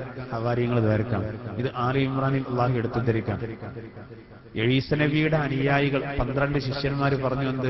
ഞങ്ങൾ എപ്പോഴും നിങ്ങളെ കൂടെ ഉണ്ടാവും. എന്നിട്ട് അവർ ദ്വാരക്കാണ് റബ്ബേ നാഥാ നീ ഇറക്കിയ ഇഞ്ചിയിൽ ഞങ്ങൾ വിശ്വസിച്ചിരിക്കുന്നു. നിന്റെ റസൂരായ ഈസയെ ഞങ്ങൾ അനുകരിച്ചിരിക്കുന്നു. അള്ളാഹുവേ സത്യത്തിന് സാക്ഷിയായവരിൽ ഞങ്ങളെയും രേഖപ്പെടുത്തണേ. ഇതിൽ നമുക്കുള്ള പാടെന്താ റസൂലുള്ളാഹി സ്വല്ലല്ലാഹു അലൈഹി വസല്ലമ തങ്ങൾ പറഞ്ഞു എല്ലാ സമുദായത്തിലും ഹവാരികളുണ്ട് എന്റെ സമുദായത്തിലെ ഹവാരി അത് സുബൈറാണ് മുഹമ്മദ് മുസ്തഫ സല്ലല്ലാഹു അലൈഹി വസല്ലം. അലൈഹി സ്വലാത്തു വസ്സലാമിലേക്ക് പന്ത്രണ്ട് ശിഷ്യന്മാര്. അവർ പറഞ്ഞ നിലപാട് നിങ്ങളും സ്വീകരിച്ചോളൂ അവർ ഉറച്ചു നിന്നു ഈസ് നബിയോട് കൂടെ. അവർ ഉറച്ചു നിന്നു. അവർ ചില പ്രാർത്ഥനകൾ നടത്തി റസൂലുള്ളാഹി അലൈഹി വസല്ലമ തങ്ങൾ പറയുന്നു ഓരോ നബിമാർക്കും ഹവാരികളുണ്ട്. എന്റെ എന്റെ ഹവാരി അത് കാണുകയാണ് തൊട്ടകത്ത് കാണാൻ നോക്കൂ നബിയുടെ ഹവാരിയങ്ങൾ ആരൊക്കെയാണ് ഒന്ന് സയ്യിദന അബൂബക്കർ സിദ്ദീഖ് റളിയല്ലാഹു അൻഹു രണ്ട് ഉമറുൽ ഫാറൂഖ് റളിയല്ലാഹു അൻഹു മൂന്ന് ഉസ്മാൻ ഇബ്നു അഫ്ഫാൻ റളിയല്ലാഹു അൻഹു നാല് അലി ഇബ്നു അബീ ത്വാലിബ് റളിയല്ലാഹു അൻഹു പിന്നെ സുബൈർ റളിയല്ലാഹു അൻഹു ഉസ്മാൻ ഇബ്നു മദ്ഊൻ റളിയല്ലാഹു അൻഹു അതുപോലെ റസൂലുള്ളാന്റെ പിതൃവനായ സയ്യിദ് ഹംസ റളിയല്ലാഹു അതുപോലെ ഇബ്നു അബീ റളിയല്ലാഹു അൻഹു ഇവരെയൊക്കെ മഹത്തുക്കളെ എണ്ണി പറഞ്ഞിട്ടുണ്ട്. ഓരോ പ്രവാചകന്മാരെ കൊണ്ട് അങ്ങനെയുള്ള ആളുകൾ ശരിയല്ലേ? ഈസ നബിയോട് കൂടെ ആ ഉറച്ചു നിന്ന ആളുകൾ എങ്ങനെ ഉറച്ചു നിന്നു? അതിനേക്കാൾ ശക്തമായി ഒരു കോട്ടയായി. സഹോദര എന്തിനേയും പ്രതിരോധിക്കാൻ ഈ എണ്ണി പറഞ്ഞവർ നബിയോട് കൂടെ ഉണ്ടായിരുന്നു. റസൂറുള്ളാന്റെ കൂട്ടത്തിൽ നമ്മുടെ സമുദായത്തിലെ ഹവാരിയും അൻഹു പാമ്പ് കടിച്ചിട്ട് പോലും അനങ്ങാതെ ഇരുന്ന് കൊടുത്തില്ലേ നബിക്ക്? ഇതിലേറെ എങ്ങനെ ഇതിലേറെ എങ്ങനെ സഹോദര രക്ഷാ കവചമാവുക? റസൂലിന്റെ ശരീരത്തിൽ പാമ്പ് കടിക്കാതിരിക്കാൻ റസൂൽ കിടക്കുമ്പോ തന്റെ മടിയിൽ കിടക്കുമ്പോ കാലിന്റെ വിരലാണ്. ഒരു പൊത്തിൽ കയറ്റി വെച്ച് നനങ്ങാതെ മണിക്കൂറുകൾ ഇരുന്നത് മടിയിൽ കിടക്കുന്ന റസൂൽ വിശ്രമിക്കട്ടെ എന്ന് കരുതിയിട്ട പാമ്പ് കടിച്ചു എന്നൊക്കെ പറയുമ്പോൾ റസൂലിനെ വിഷമാവും ഇതാണ് സ്നേഹം. ബദറിന്റെ പടക്കളത്തിൽ അള്ളാഹുവിന്റെ ദൂതർക്ക് പ്രൊട്ടക്ഷൻ പ്രൊട്ടക്ഷൻ നൽകാൻ നിയോഗിക്കപ്പെട്ട സ്വഹാബിയായിരുന്നു സയ്യിദന അബൂബക്കർ എല്ലാരും പറഞ്ഞു അലി ആയിക്കോട്ടെ. അലി പറഞ്ഞു എന്നെക്കാൾ ധീരത അബൂബക്കറിനാണ്. അൻഹു. റസൂലിന്റെ സഹായികളായി. എന്തിനും തയ്യാറായി. അതുകൊണ്ടല്ലേ ആറ് സൗറിൽ വെച്ച് നബിക്ക് ചെയ്ത സേവനം. അതിന് ലഭിക്കാൻ പോകുന്ന പ്രതിഫലം തുലാസിന്റെ ഒരു തട്ടിലും ഞാൻ ചെയ്ത പ്രവർത്തനം മുഴുവനും തുലാസിന്റെ മറ്റേ തട്ടിലും ഇട്ടാൽ അബൂബക്കർ ചെയ്തതിന്റെതാണ് അബൂബക്കർ റളിയല്ലാഹുവിന് മൂന്ന് ദിവസം ആറ് സൗറിൽ നബിയെ സഹായിച്ചതിന് ലഭിക്കാൻ പോകുന്നതാണ് ഞാൻ ചെയ്ത മുഴുവൻ പ്രവർത്തനങ്ങളെക്കാളും വലുത് എന്ന് അമീറുൽ റസൂലിനോട് ബന്ധപ്പെട്ട ഒരു വിഷയത്തിന് എത്ര മഹത്വമാണ് അവരൊക്കെ ഒന്നാം തരം സഹായികളായി. ഉമർ സഹായിച്ചു. എന്നെ പ്രാർത്ഥിച്ചതാ. റസൂനെ ഒന്നെങ്കിൽ ഉമർ നജ് നന്നാക്കി. അല്ലെങ്കിൽ അബൂജഹലിനെ നന്നാക്കി. രണ്ടാളും പ്രമാണിമാരാണ്. അബൂജഹൽ മുതലാളിയാണ്. അവന്റെ കൂടെ ധാരാളം ആളുകളുണ്ട്. ഉമറോ ഉമർ വലിയ ധീരനാണ്. അദ്ദേഹം നമ്മുടെ പക്ഷത്തുണ്ടായാൽ പിന്നെ ശത്രുക്കൾക്ക് ഒരു ശത്രുക്കൾക്കൊരു ഉൾഭയമുണ്ടാവും കളിക്കാൻ പറ്റൂല. അതുകൊണ്ട് ഒന്നുകിൽ അബൂജഹലിനെ തരണം അല്ലെങ്കിൽ ഉമറിനെ കൊണ്ട് ദീനെ ശക്തിപ്പെടുത്തണം. കുഞ്ഞുനബിയുടെ ദുആള്ള സ്വീകരിച്ചു. ഉമറിൽ ഫാറൂഖ് റളിയല്ലാഹു അൻഹു പുണ്യമതത്തിലേക്ക് വന്നു. പിന്നെ ആരായി അദ്ദേഹം? കാവലാളായി. സഹായിയായി. ഇതുപോലെയായിരുന്നു സഹോദര വലിയ ധീരനായിരുന്നു. ഇസ്ലാമിന്റെ നാലാമത്തെ ഖലീഫ റസൂലുള്ളാന്റെ മരുമകൻ സയ്യിദുന അലി ഇബ്നു അബീ ത്വാലിബ് റളിയല്ലാഹു അൻഹു. ശത്രുക്കൾക്ക് എന്തൊരു ഭയമായിരുന്നു അദ്ദേഹത്തെ ഇസ്ലാമിന് എത്ര സേവനങ്ങളാണ് അവരൊക്കെ ചെയ്തത്? അലി റളിയല്ലാഹു അൻഹു. സഹോദര ഹൈബറിന്റെ പടക്കളത്തിലേക്ക് കണ്ണിന് രണ്ട് രണ്ട് കണ്ണിനും അസുഖം ബാധിച്ചിട്ടും കയറി വന്നു. യഥാർത്ഥത്തിൽ അവരൊക്കെ എത്ര സഹായിച്ചു? ദീൻ എത്ര സഹായിച്ചു? അവർക്കതായിരുന്നു വലുത്. അതിനുവേണ്ടി ഏതറ്റം വരെ പോകാനും അവർ തയ്യാറായിരുന്നു. അതുപോലെ സഹോദര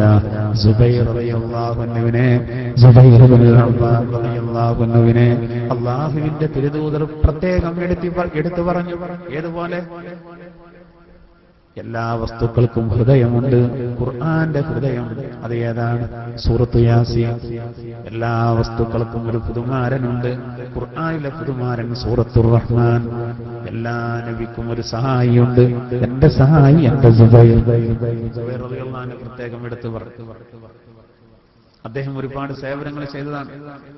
അതുപോലെ സഹോദര മഹാനായ ഹംസ റളിയല്ലാഹു അൻഹു സയ്യിദ് എന്ന പേരിൽ അറിയപ്പെടുന്ന ഹംസ റളിയല്ലാഹു അൻഹു.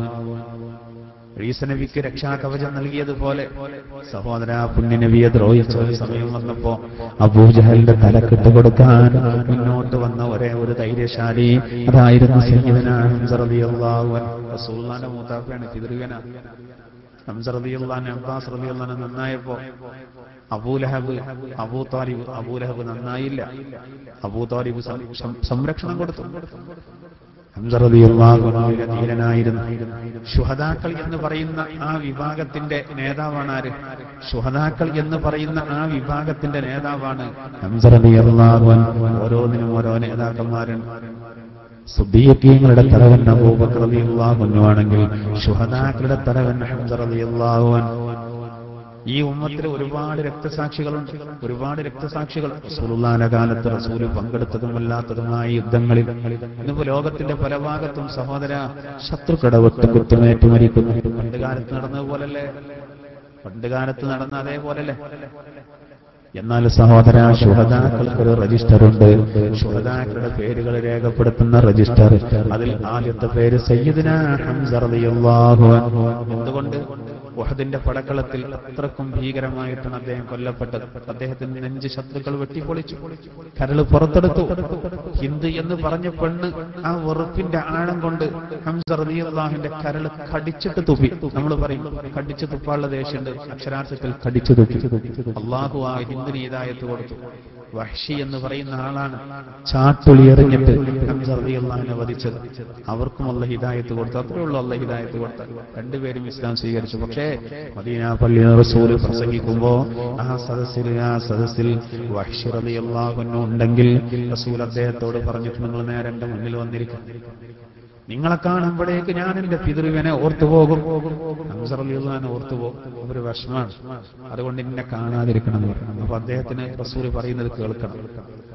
ഭയങ്കര സങ്കടമായിരുന്നു അദ്ദേഹം. അദ്ദേഹം ഏതെങ്കിലുമൊക്കെ തൂണ് മറഞ്ഞ് ഇങ്ങനെ അദ്ദേഹം മനസ്സിൽ കൊണ്ടിടുന്നു റസോനെ ഞാൻ സത്യനിഷേധിയായിരുന്ന കാലത്ത് റളിയല്ലാഹുവിനെ വധിച്ചു. എനിക്ക് ആ സങ്കടം ഒന്ന് തീരണമെങ്കിൽ സത്യവിശ്വാസിയായതിന്റെ ശേഷം ഒരു മഹാശത്രുവിനെ വധിക്കണം. അങ്ങനെയാണ് യമാമ യുദ്ധത്തിൽ മുസൈലിമ എന്ന് പറയുന്ന കള്ള പ്രവാചകനെ ചാട്ടിളി എറിഞ്ഞിട്ട് വധിച്ചു. ആര്? യമാമ യുദ്ധത്തിൽ അതെങ്ങനെ കാത്തിരിക്കാണ്? ഈ മുസൈലിമയെ ശരിയാക്കണം?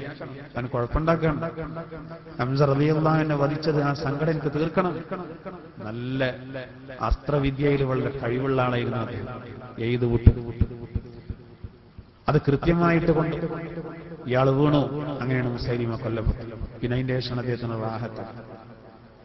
അത് അബൂബക്കർ ഭരണകാലത്താണ് ആ യുദ്ധം നടത്തുന്നത് ഞാൻ പറയുന്നത് ഹംസ റളിയല്ലാഹു സഹിച്ച ത്യാഗത്രേ ആ ഹംസ റളിയല്ലാഹുവിന്റെ പേര് അതിന്റെ താഴെ ഒരുപാട് പേരുകൾ അതിൽപ്പെട്ട പ്രമുഖനാണ് അതുകൊണ്ടാകാം ഹവാരിയങ്ങളുടെ കൂട്ടത്തിൽ ഈ സമുദായത്തിൽ ജാഫർ റളിയല്ലാഹുവിനെ പ്രത്യേകം വേണ്ടിയത് വല്ലാത്ത ധീരനായിരുന്നു അദ്ദേഹം. അവർക്കൊന്നും ഒരു പ്രശ്നമില്ല നമ്മൾ അങ്ങനെ തന്നെയുള്ളൂ. നമ്മളെ സംബന്ധിച്ചിടത്തോളം സഹോദര ഇതല്ലല്ലോ വലുത്. നമുക്ക് നാളെ പരലോകാണ് വലുത്. അതുകൊണ്ട് തന്നെ അതുകൊണ്ട് തന്നെ സഹോദര നമ്മൾ ആത്മാർത്ഥമായിട്ട് അള്ളാഹുവിന്റെ ദീനിന് വേണ്ടി സേവനം ചെയ്യണം. നമുക്ക് ഇങ്ങനെയൊക്കെ ചെയ്താൽ മതി. അലഹമില്ല ഇങ്ങനെ ചെയ്യാൻ പറ്റാത്തൊരു കാര്യം ഉണ്ടായി ഇന്ന് സഹോദര നമുക്ക് കൂട്ടിലെങ്ങാടി ഖുറാൻ ക്ലാസ് നടത്തുന്നത് ഇത് തടയാൻ ഇവിടെ ആരും വരുന്നില്ല. അവിടെ ബഹളം ഉണ്ടാക്കാൻ വരുന്നില്ല. മഹാനായ അബ്ദുല്ലാഹിബിൻ മസൂദ് റളിയല്ലാഹു അൻഹു ഖുർആൻ ഉറക്ക ഓതിയ കാരണത്താലാണ് അദ്ദേഹത്തിന് ശത്രുക്കൾ വളഞ്ഞിട്ട് തല്ലി പരിക്ക് പറ്റിയത്. മുഖമൊക്കെ പൊട്ടി ചോര വന്നിരുന്നു. ഉറക്ക ഖുർആൻ ഓതിയ കാരണത്താലാണ് സയ്യിദന അബൂബക്കർ സിദ്ദീഖ് റളിയല്ലാഹു അൻഹു മർദ്ദനങ്ങൾക്ക് വിധേയനായത് ഉറക്ക ഖുർആൻ ഓതിയിട്ട. അവസാനം ശത്രുക്കൾ ബഹളം ഉണ്ടാക്കാൻ തുടങ്ങി. ഏതൊരു സ്വഹാബി ഖുർആൻ ഓതിയാലും ഒച്ചപ്പാടുണ്ടാക്കും. ഭയങ്കര ബഹളം.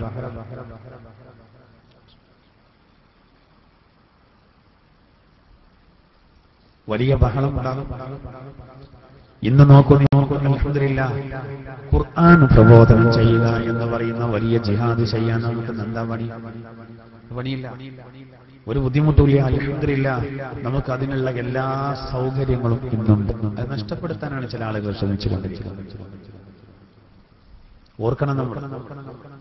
സ്വഹാബത്ത് ഏറെ സഹിച്ചുകൊണ്ടാണ് അള്ളാന്റെ വിശുദ്ധ വചനങ്ങളെ പ്രബോധനം ചെയ്തത്. അവർക്കൊന്നും നിസ്കരിക്കാൻ ഒരുപാട് പ്രയാസങ്ങൾ സഹിച്ചത് പക്ഷെ അതൊക്കെ തരണം ചെയ്യാൻ അവർ തയ്യാറായി. അവർക്ക് ദീനായിരുന്നു വലും സുജൂത് ചെയ്താൽ തലക്കിട്ട് ചവിട്ടും എന്ന് പറയുമ്പോഴും സുജൂത് ചെയ്യാൻ അവർക്ക് യാതൊരു മടിയും ഉണ്ടായിരുന്നില്ല. സുജൂതിൽ കിടക്കുന്ന റസൂലിന്റെ പെരടിയിൽ വരെ സഹോദര ഒട്ടകത്തിന്റെ ചീഞ്ഞളിഞ്ഞ കുടൽമാരെ നിക്ഷേപിച്ചു. ഒട്ടകത്തിന്റെ കുടൽ ഒരുപാടുണ്ടാവും. ഒരു കോഴിയുടേതാണെങ്കിൽ പോലും സഹോദര നോക്കൂ വളരെ കുറഞ്ഞത് അത് ചീഞ്ഞു പോയാൽ എത്തൊരു വാസനയാണ്. എന്നാൽ ഒട്ടകത്തിന്റെ ചീഞ്ഞളിഞ്ഞ കുടൽമാല രൂക്ഷമായ ദുർഗന്ധം വമിക്കുന്ന കുടൽമാല കൊണ്ടുവന്ന് സുജൂത് ചെയ്യുന്ന പ്രവാചകരുടെ പെരടിയിലിട്ടിട്ട് തല ഉയർത്താൻ കഴിയാതെ വിഷമിച്ചു. ഫാത്തിമ എന്ന് പറയുന്ന റസൂലുള്ളാന്റെ പ്രിയപ്പെട്ട ആ പെൺകുട്ടി ആ ചെറിയ ബാലിക ഇത് കണ്ട് പൊട്ടി പൊട്ടി കരഞ്ഞത് ചതിച്ചു എത്ര ത്യാഗം സഹിച്ചു അവരൊക്കെ. നേതാവിനെ സഹിച്ചു. പിന്നെ അനുയായികളത് പ്രശ്നമില്ല. അള്ളാഹു ഇങ്ങനെ പറഞ്ഞു കൊടുത്തു നേരത്തെ ഇതിലേറെ വലുത് വന്നിട്ടുണ്ട് വന്നിട്ടുണ്ട്. പേടിക്കണ്ട. എല്ലാവരും സഹിച്ചിട്ടുണ്ട്. മൂസാ നബിയുടെയും ഈസാ ചരിത്രം ഇങ്ങനെ പറഞ്ഞു കൊടുത്തു. നേരത്തെ കഴിഞ്ഞുപോയ പ്രവാചകന്മാരും അനുയായികളും ഓരോ കാലഘട്ടത്തിലും സത്യത്തിൽ ഉറച്ചു നിന്നതിന്റെ പേരിൽ സഹിച്ചത് പറഞ്ഞു കൊടുത്തപ്പോ ഓ അപ്പൊ ഇതൊന്നും ഒന്നുമല്ല എന്നുള്ള ചിന്ത ആ വിഷയത്തിൽ നമ്മളെക്കാളും പ്രയാസപ്പെട്ടവർ ആലോചിക്കുമ്പോൾ നമുക്ക് സമാധാനം ഏതുപോലെ? ഭൗതിക വിഷയത്തിൽ നമ്മളെക്കാൾ താഴ്ന്നവരിലേക്ക് നോക്കണം. അപ്പൊ നമുക്ക് എന്താവും നമ്മൾ കുറെ മുന്നിലാണ് തോന്നുന്നത് ഈ ആഴ്ചയിൽ ഒരു ക്ലാസ്സിൽ പോയപ്പോ ഞാനൊരു വീട് കണ്ടു. ഞാൻ സംഘാടകരോട് പറഞ്ഞു എന്റെ നാട്ടിലായിരുന്നെങ്കിൽ ഞങ്ങൾ ഖുറാൻ ക്ലാസിന്റെ കീഴിൽ അവരെ വീട് നന്നാക്കി കൊടുക്കുമായിരുന്നു. വാടകക്കൊന്നുമല്ല അത്ര ഓ ഒരൊറ്റ മുറി. അതന്നെ ഷീറ്റ് വലിച്ചു കെട്ടിയിരുന്നു അതൊക്കെ ഇങ്ങനെ കണ്ടാൽ നമ്മളൊക്കെ എവിടെ എവിടെയാണ് സ്വർഗത്തിലാണ് നമ്മളങ്ങനെയല്ല നമ്മൾ മുകളിലേക്ക് നോക്കും. പത്ത് ലക്ഷത്തിന്റെ വീട്ടിൽ പാർക്കുന്നവൻ രണ്ട് കോടിയുടെ വീടിനെ പറ്റി ചിന്തിക്കും. ഒരു വീട് കാണുമ്പോൾ അപ്പൊ ടെൻഷനാ. അതുപോലെ ആയില്ലല്ലോ. സഹോദര രണ്ടായിരം രൂപയുടെ ഷീറ്റ് വാങ്ങിയിട്ട് അലകും പോലും വെച്ച് കെട്ടിണ്ടാക്കിയിട്ട് ചെറിയൊരു കുടുംബം രണ്ട് മക്കളും മാതാവും പിതാവും ആകൊരത്തറവും പിന്നെ ചെറിയൊരു അടുക്കളയും ബാക്കി കറക്റ്റ് റൂമിൽ അങ്ങനത്തെ ഒരു വീട് കാണുമ്പോൾ അപ്പൊ നമുക്ക് പത്ത് ലക്ഷത്തിന്റെ വീട്ടിലാണെങ്കിൽ ഇരുപത് ലക്ഷത്തിന്റെ വീട്ടിലാണെങ്കിൽ അപ്പോഴാണ് എഴുമത്തിന്റെ ആഴം പോകുന്നത് ഭൗതിക വിഷയത്തിൽ നമ്മളെക്കാൾ താഴ്ന്നവരിലേക്ക് നോക്കിയിട്ട് സമാധാനം സമാധാനമടയണം ആത്മീയ വിഷയത്തിൽ മുകളിലേക്ക് നോക്കിയിട്ട് അങ്ങനെ എത്താൻ ശ്രമിക്കണം. അങ്ങനെ വേണ്ട. നമ്മൾ നേരെ മറിച്ചായിരിക്കും. നമ്മൾ നേരെ മറിച്ചാണ്. സഹോദര നമ്മൾ വാഴക്കാട് വഴി പോവാൻ വാഴക്കാട് വഴി പോകുമ്പോൾ നമ്മുടെ ചിന്തയിലേക്ക് വന്ന മഹാനായ കണ്ണിയത്ത് ഉസ്താദ്. അപ്പൊ നമ്മൾ ചിന്തിക്കേണ്ട എന്താണ്? അങ്ങനെ ആവണം അങ്ങനെ ആവൂലെങ്കിലും പ്രശ്നം ഓലക്ക് എത്ര ഉന്നതങ്ങളെത്തി ശ്രദ്ധിക്കണം തൃപ്പനഞ്ച് വഴി നമ്മൾ പോകുമ്പോൾ സൂഫി അവിടെ അന്ത്യവിശ്രമം കൊള്ളുന്ന തൃപ്പനഞ്ചി ഉസ്താദിനെ നമ്മൾ ചിന്തിക്കുമ്പോൾ അവർക്കൊന്നും ദുന്യാവിനോടൊരു ബന്ധമില്ലായിരുന്നു. എത്ര വലിയ കാര്യപ്പെട്ടവരായിരുന്നു. അപ്പൊ അത് ഓർക്കുന്ന സമയത്ത് നമുക്ക് നന്നാകണം എന്നുള്ള ചിന്ത വരണം. സഹോദര അങ്ങനെ ചിന്തിക്കേണ്ടത് വാളക്കുളം വഴി പോകുന്ന സമയത്ത് സൂഫിയോജനായിരുന്ന ഉസ്താദ് സി എച്ച് ഓർക്കുമ്പോ നമ്മൾ ഓർക്കണമെന്ത്? ഓ എനിക്കും അങ്ങനെ ഒരു അവസ്ഥ. നന്നാവണം അങ്ങനെ വരണം. അങ്ങനെയാണ് വരേണ്ടത്. കരുവാരക്കുണ്ടുവഴി നമ്മൾ പോകുന്ന സമയത്ത് സഹോദര മഹാനായ കെ ടി മാലി മുസ്ലിയാരെ ഓർക്കണം. ശുദ്ധ ദീനിനു വേണ്ടി തന്റെ എല്ലാ കാര്യങ്ങളും മറന്ന് പ്രവർത്തിച്ച ആ മഹാമനുഷ്യനെ ഓർക്കുമ്പോ നമുക്ക് തോന്നിപ്പോകണമെന്ത്? അങ്ങനെ എനിക്കും. ഇങ്ങനെ ഇങ്ങനെ ആലോചിച്ച് നോക്കൂ. ആലോചിച്ച് നോക്കൂ ഒരുപാട് മഹത്വങ്ങൾ. നമ്മളങ്ങനല്ല ചിന്തിക്കുക. അപ്പൊ നമ്മൾ എന്താ ചിന്തിക്കാറിയോ? ഞാൻ അത്രത്തോളം ഒന്നും എത്തിയിട്ടില്ലെങ്കിലും കള്ളൊന്നും കുടിക്കുന്നില്ലല്ലോ. സുബഹിയൊക്കെ ഞാൻ നിസ്കരിക്കുന്നില്ലേ? അങ്ങനെ ചിന്തിക്കാം. അടീക്ക് പോലെയാണ് അല്ല സുബഹി ഞാൻ നിസ്കരിക്കുന്നുണ്ട്. സുബഹിയുടെ മുമ്പുള്ള രണ്ടിറക്കാലത്ത് റവാത്തി നിസ്കരിക്കണം. അങ്ങനെ ചിന്ത വേണം. ദുന്യാവും സകല സകല വസ്തുക്കളും തുലാസിന്റെ ഒരു തട്ടിലും. സഹോദര സുബഹിയുടെ മുമ്പുള്ള രണ്ടിറക്കാലത്തിന്റെ മൂല്യം മറ്റേ തട്ടിലും ഇട്ടാലും ഖനം തൂങ്ങുന്നത് ആ മറ്റേ തട്ടിലുള്ളതാണ്. വലിയ മുതലതാ. എല്ലാ സുബഹിന്റെ മുമ്പ് രണ്ടരക്കാത്ത് നിസ്കരിക്കണം. സുബൈക്ക് ബാങ്ക് കൊടുക്കുന്നതിന് മുമ്പല്ല അത് തഹജുദ് സുബൈക്ക് ബാങ്ക് കൊടുത്തതിന്റെ ശേഷം സുബൈയുടെ റവാത്തി നിസ്കരിക്കുക. നിങ്ങൾ വരുന്ന സമയത്ത് ഇവിടെ ജമാനത്ത് തുടങ്ങിയിട്ടെങ്കിൽ ജമാനത്ത് കൂടിയാൽ മതി. ജമാനത്ത് കഴിഞ്ഞിട്ട് നിസ്കരിച്ചാൽ മതി. നിങ്ങൾ വരുന്ന സമയത്ത് ജമാഅത്ത് തുടങ്ങിയിട്ടുണ്ടെങ്കിൽ ആ ജമാഅത്തിൽ കൂടെ ജമാഅത്ത് നിസ്കാരം കഴിഞ്ഞതിന് ശേഷം രണ്ടരക്കാലത്ത് നിസ്കരിക്കുക. നീയത്തം തന്നെ വെച്ചാൽ മതി. സുബൈയുടെ മുമ്പുള്ള രണ്ടരക്കാലത്ത് നിസ്കരിക്കുന്നു. നീയത്ത് വെച്ചാൽ. കല ആയിട്ടില്ല. സുബൈയുടെ സമയം കഴിഞ്ഞാൽ കലാവും. ഇപ്പൊ നമുക്ക് നിസ്കരിക്കാം. ഇന്നലെ രണ്ടരക്കാലത്ത് നിസ്കരിക്കാൻ കഴിഞ്ഞില്ല. ഇപ്പൊ നിസ്കരിക്കാം. പക്ഷെ കലാവും. കലാ കലാ കലാ കലാ കളാ നിസ്കാരം സഹോദര കലാവ് കിട്ടണം. കലാ സമയം നിർണയിക്കപ്പെട്ട ഏത് നിസ്കാരം സമയം നിർണയിക്കപ്പെട്ട ഏത് നിസ്കാരവും കലാവ് അങ്ങനെയല്ലേ നമ്മൾ ചിന്തിക്കേണ്ടത്? അങ്ങനെ വരുമാനം വർദ്ധിപ്പിക്കാനാണല്ലോ. ഇപ്പൊ നമുക്ക് ഒരു ദിവസം സുബൈന്റെ മുമ്പുള്ള രണ്ടരക്ക് നിസ്കരിക്കാൻ കഴിഞ്ഞില്ല. പിന്നെ ലോഹർക്ക് വന്നപ്പോൾ എന്ത് ചെയ്തു? നിസ്കരിച്ചു. വിട്ടാ. തഹജ്ജുദ് വരെ കലാവ് എല്ലാ ദിവസവും തഹജ് നിസ്കരിക്കുന്ന ഒരാൾക്ക് ഒരു- ദിവസം ഉറങ്ങിപ്പെട്ട് നിസ്കരിക്കാൻ കഴിഞ്ഞില്ല. ഉച്ചയ്ക്ക് നിസ്കരിക്കാം. അള്ളാഹു എന്നും വളവാക്കരുത് എന്നും കള്ളാണ്. രാത്രി തീരെ നിസ്കരിക്കാതെ ലോഹർക്ക് വന്ന് രണ്ടരക്കാത്ത് നിസ്കരിക്കും. ഇതിപ്പോ ഏതാണ് ഇത് തഹജ്ജുദ് കള്ള ആണ്. എന്നും നിസ്കരിക്കലുണ്ടോ. ഇല്ലേ രാത്രി നിസ്കരിക്കാൻ ബുദ്ധിമുട്ടാണ് എന്നാ പിന്നെ ആദ്യം തന്നെ ലോഹർക്ക് ആക്കിയാൽ മതി അള്ളാക്കും. അങ്ങനല്ല. ഞാൻ പറയുന്നത് അത്തരം കാര്യങ്ങളിലാണ് സഹോദര നമ്മൾ എന്ത് ചെയ്യേണ്ടത്? ശ്രദ്ധ വേണ്ടത്. അങ്ങനെ കുറെ സുന്നത്തുകൾ അങ്ങനെയുള്ള സുന്നത്തുകളിലൊന്നും ശ്രദ്ധിക്കൂല. വേണ്ടാത്തീര് തീരെ ഭയങ്കര ശ്രദ്ധയായിരിക്കും. വേണ്ടതിനെ തീരെ ചില ആളുകൾ ശ്രദ്ധിക്കൂല. വളരെ ശ്രദ്ധിക്കണം. ആ കാര്യത്തിൽ മാത്രമല്ല ഒരുപാട് കാര്യങ്ങൾ അങ്ങനെയുണ്ട്. റസൂലുള്ളാന്റെ പ്രധാനപ്പെട്ട ഒരു സുന്നത്ത അള്ളാന്റെ തിരുതുറെ പറ്റി അനസറിയാഹുന്ന് പറയുന്നുണ്ട്. റസൂലുള്ളാഹി സ്വല്ലല്ലാഹു അലൈഹി വസല്ലം തങ്ങൾ കുളിക്കാൻ വേണ്ടി ഉപയോഗിച്ച വെള്ളത്തിന്റെ അളവ്. പത്ത് കൊല്ലം റസൂറുള്ളാഹി ചെയ്ത മഹാനായ അനസ് റളിയല്ലാഹു എന്ന് പറയുന്നത് റസൂറുള്ളാഹി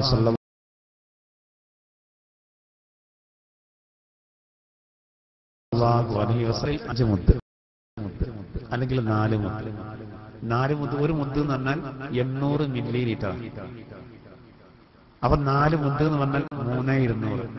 ഏറിയാൽ അഞ്ച് മുത്ത്. അതിന്റെ അപ്പുറത്തേക്ക് പോയിട്ടില്ല നാല് ലിറ്റർ. മനസ്സിലായില്ലേ? അഞ്ച് മുത്ത് വെള്ളം എന്ന് പറഞ്ഞാൽ കൃത്യമായിട്ട് എത്രയാണ് എന്റെ കണക്ക്? കഴക്കൂല കൃത്യമായിട്ട് എത്ര? നാല് ലിറ്റർ വെള്ളം.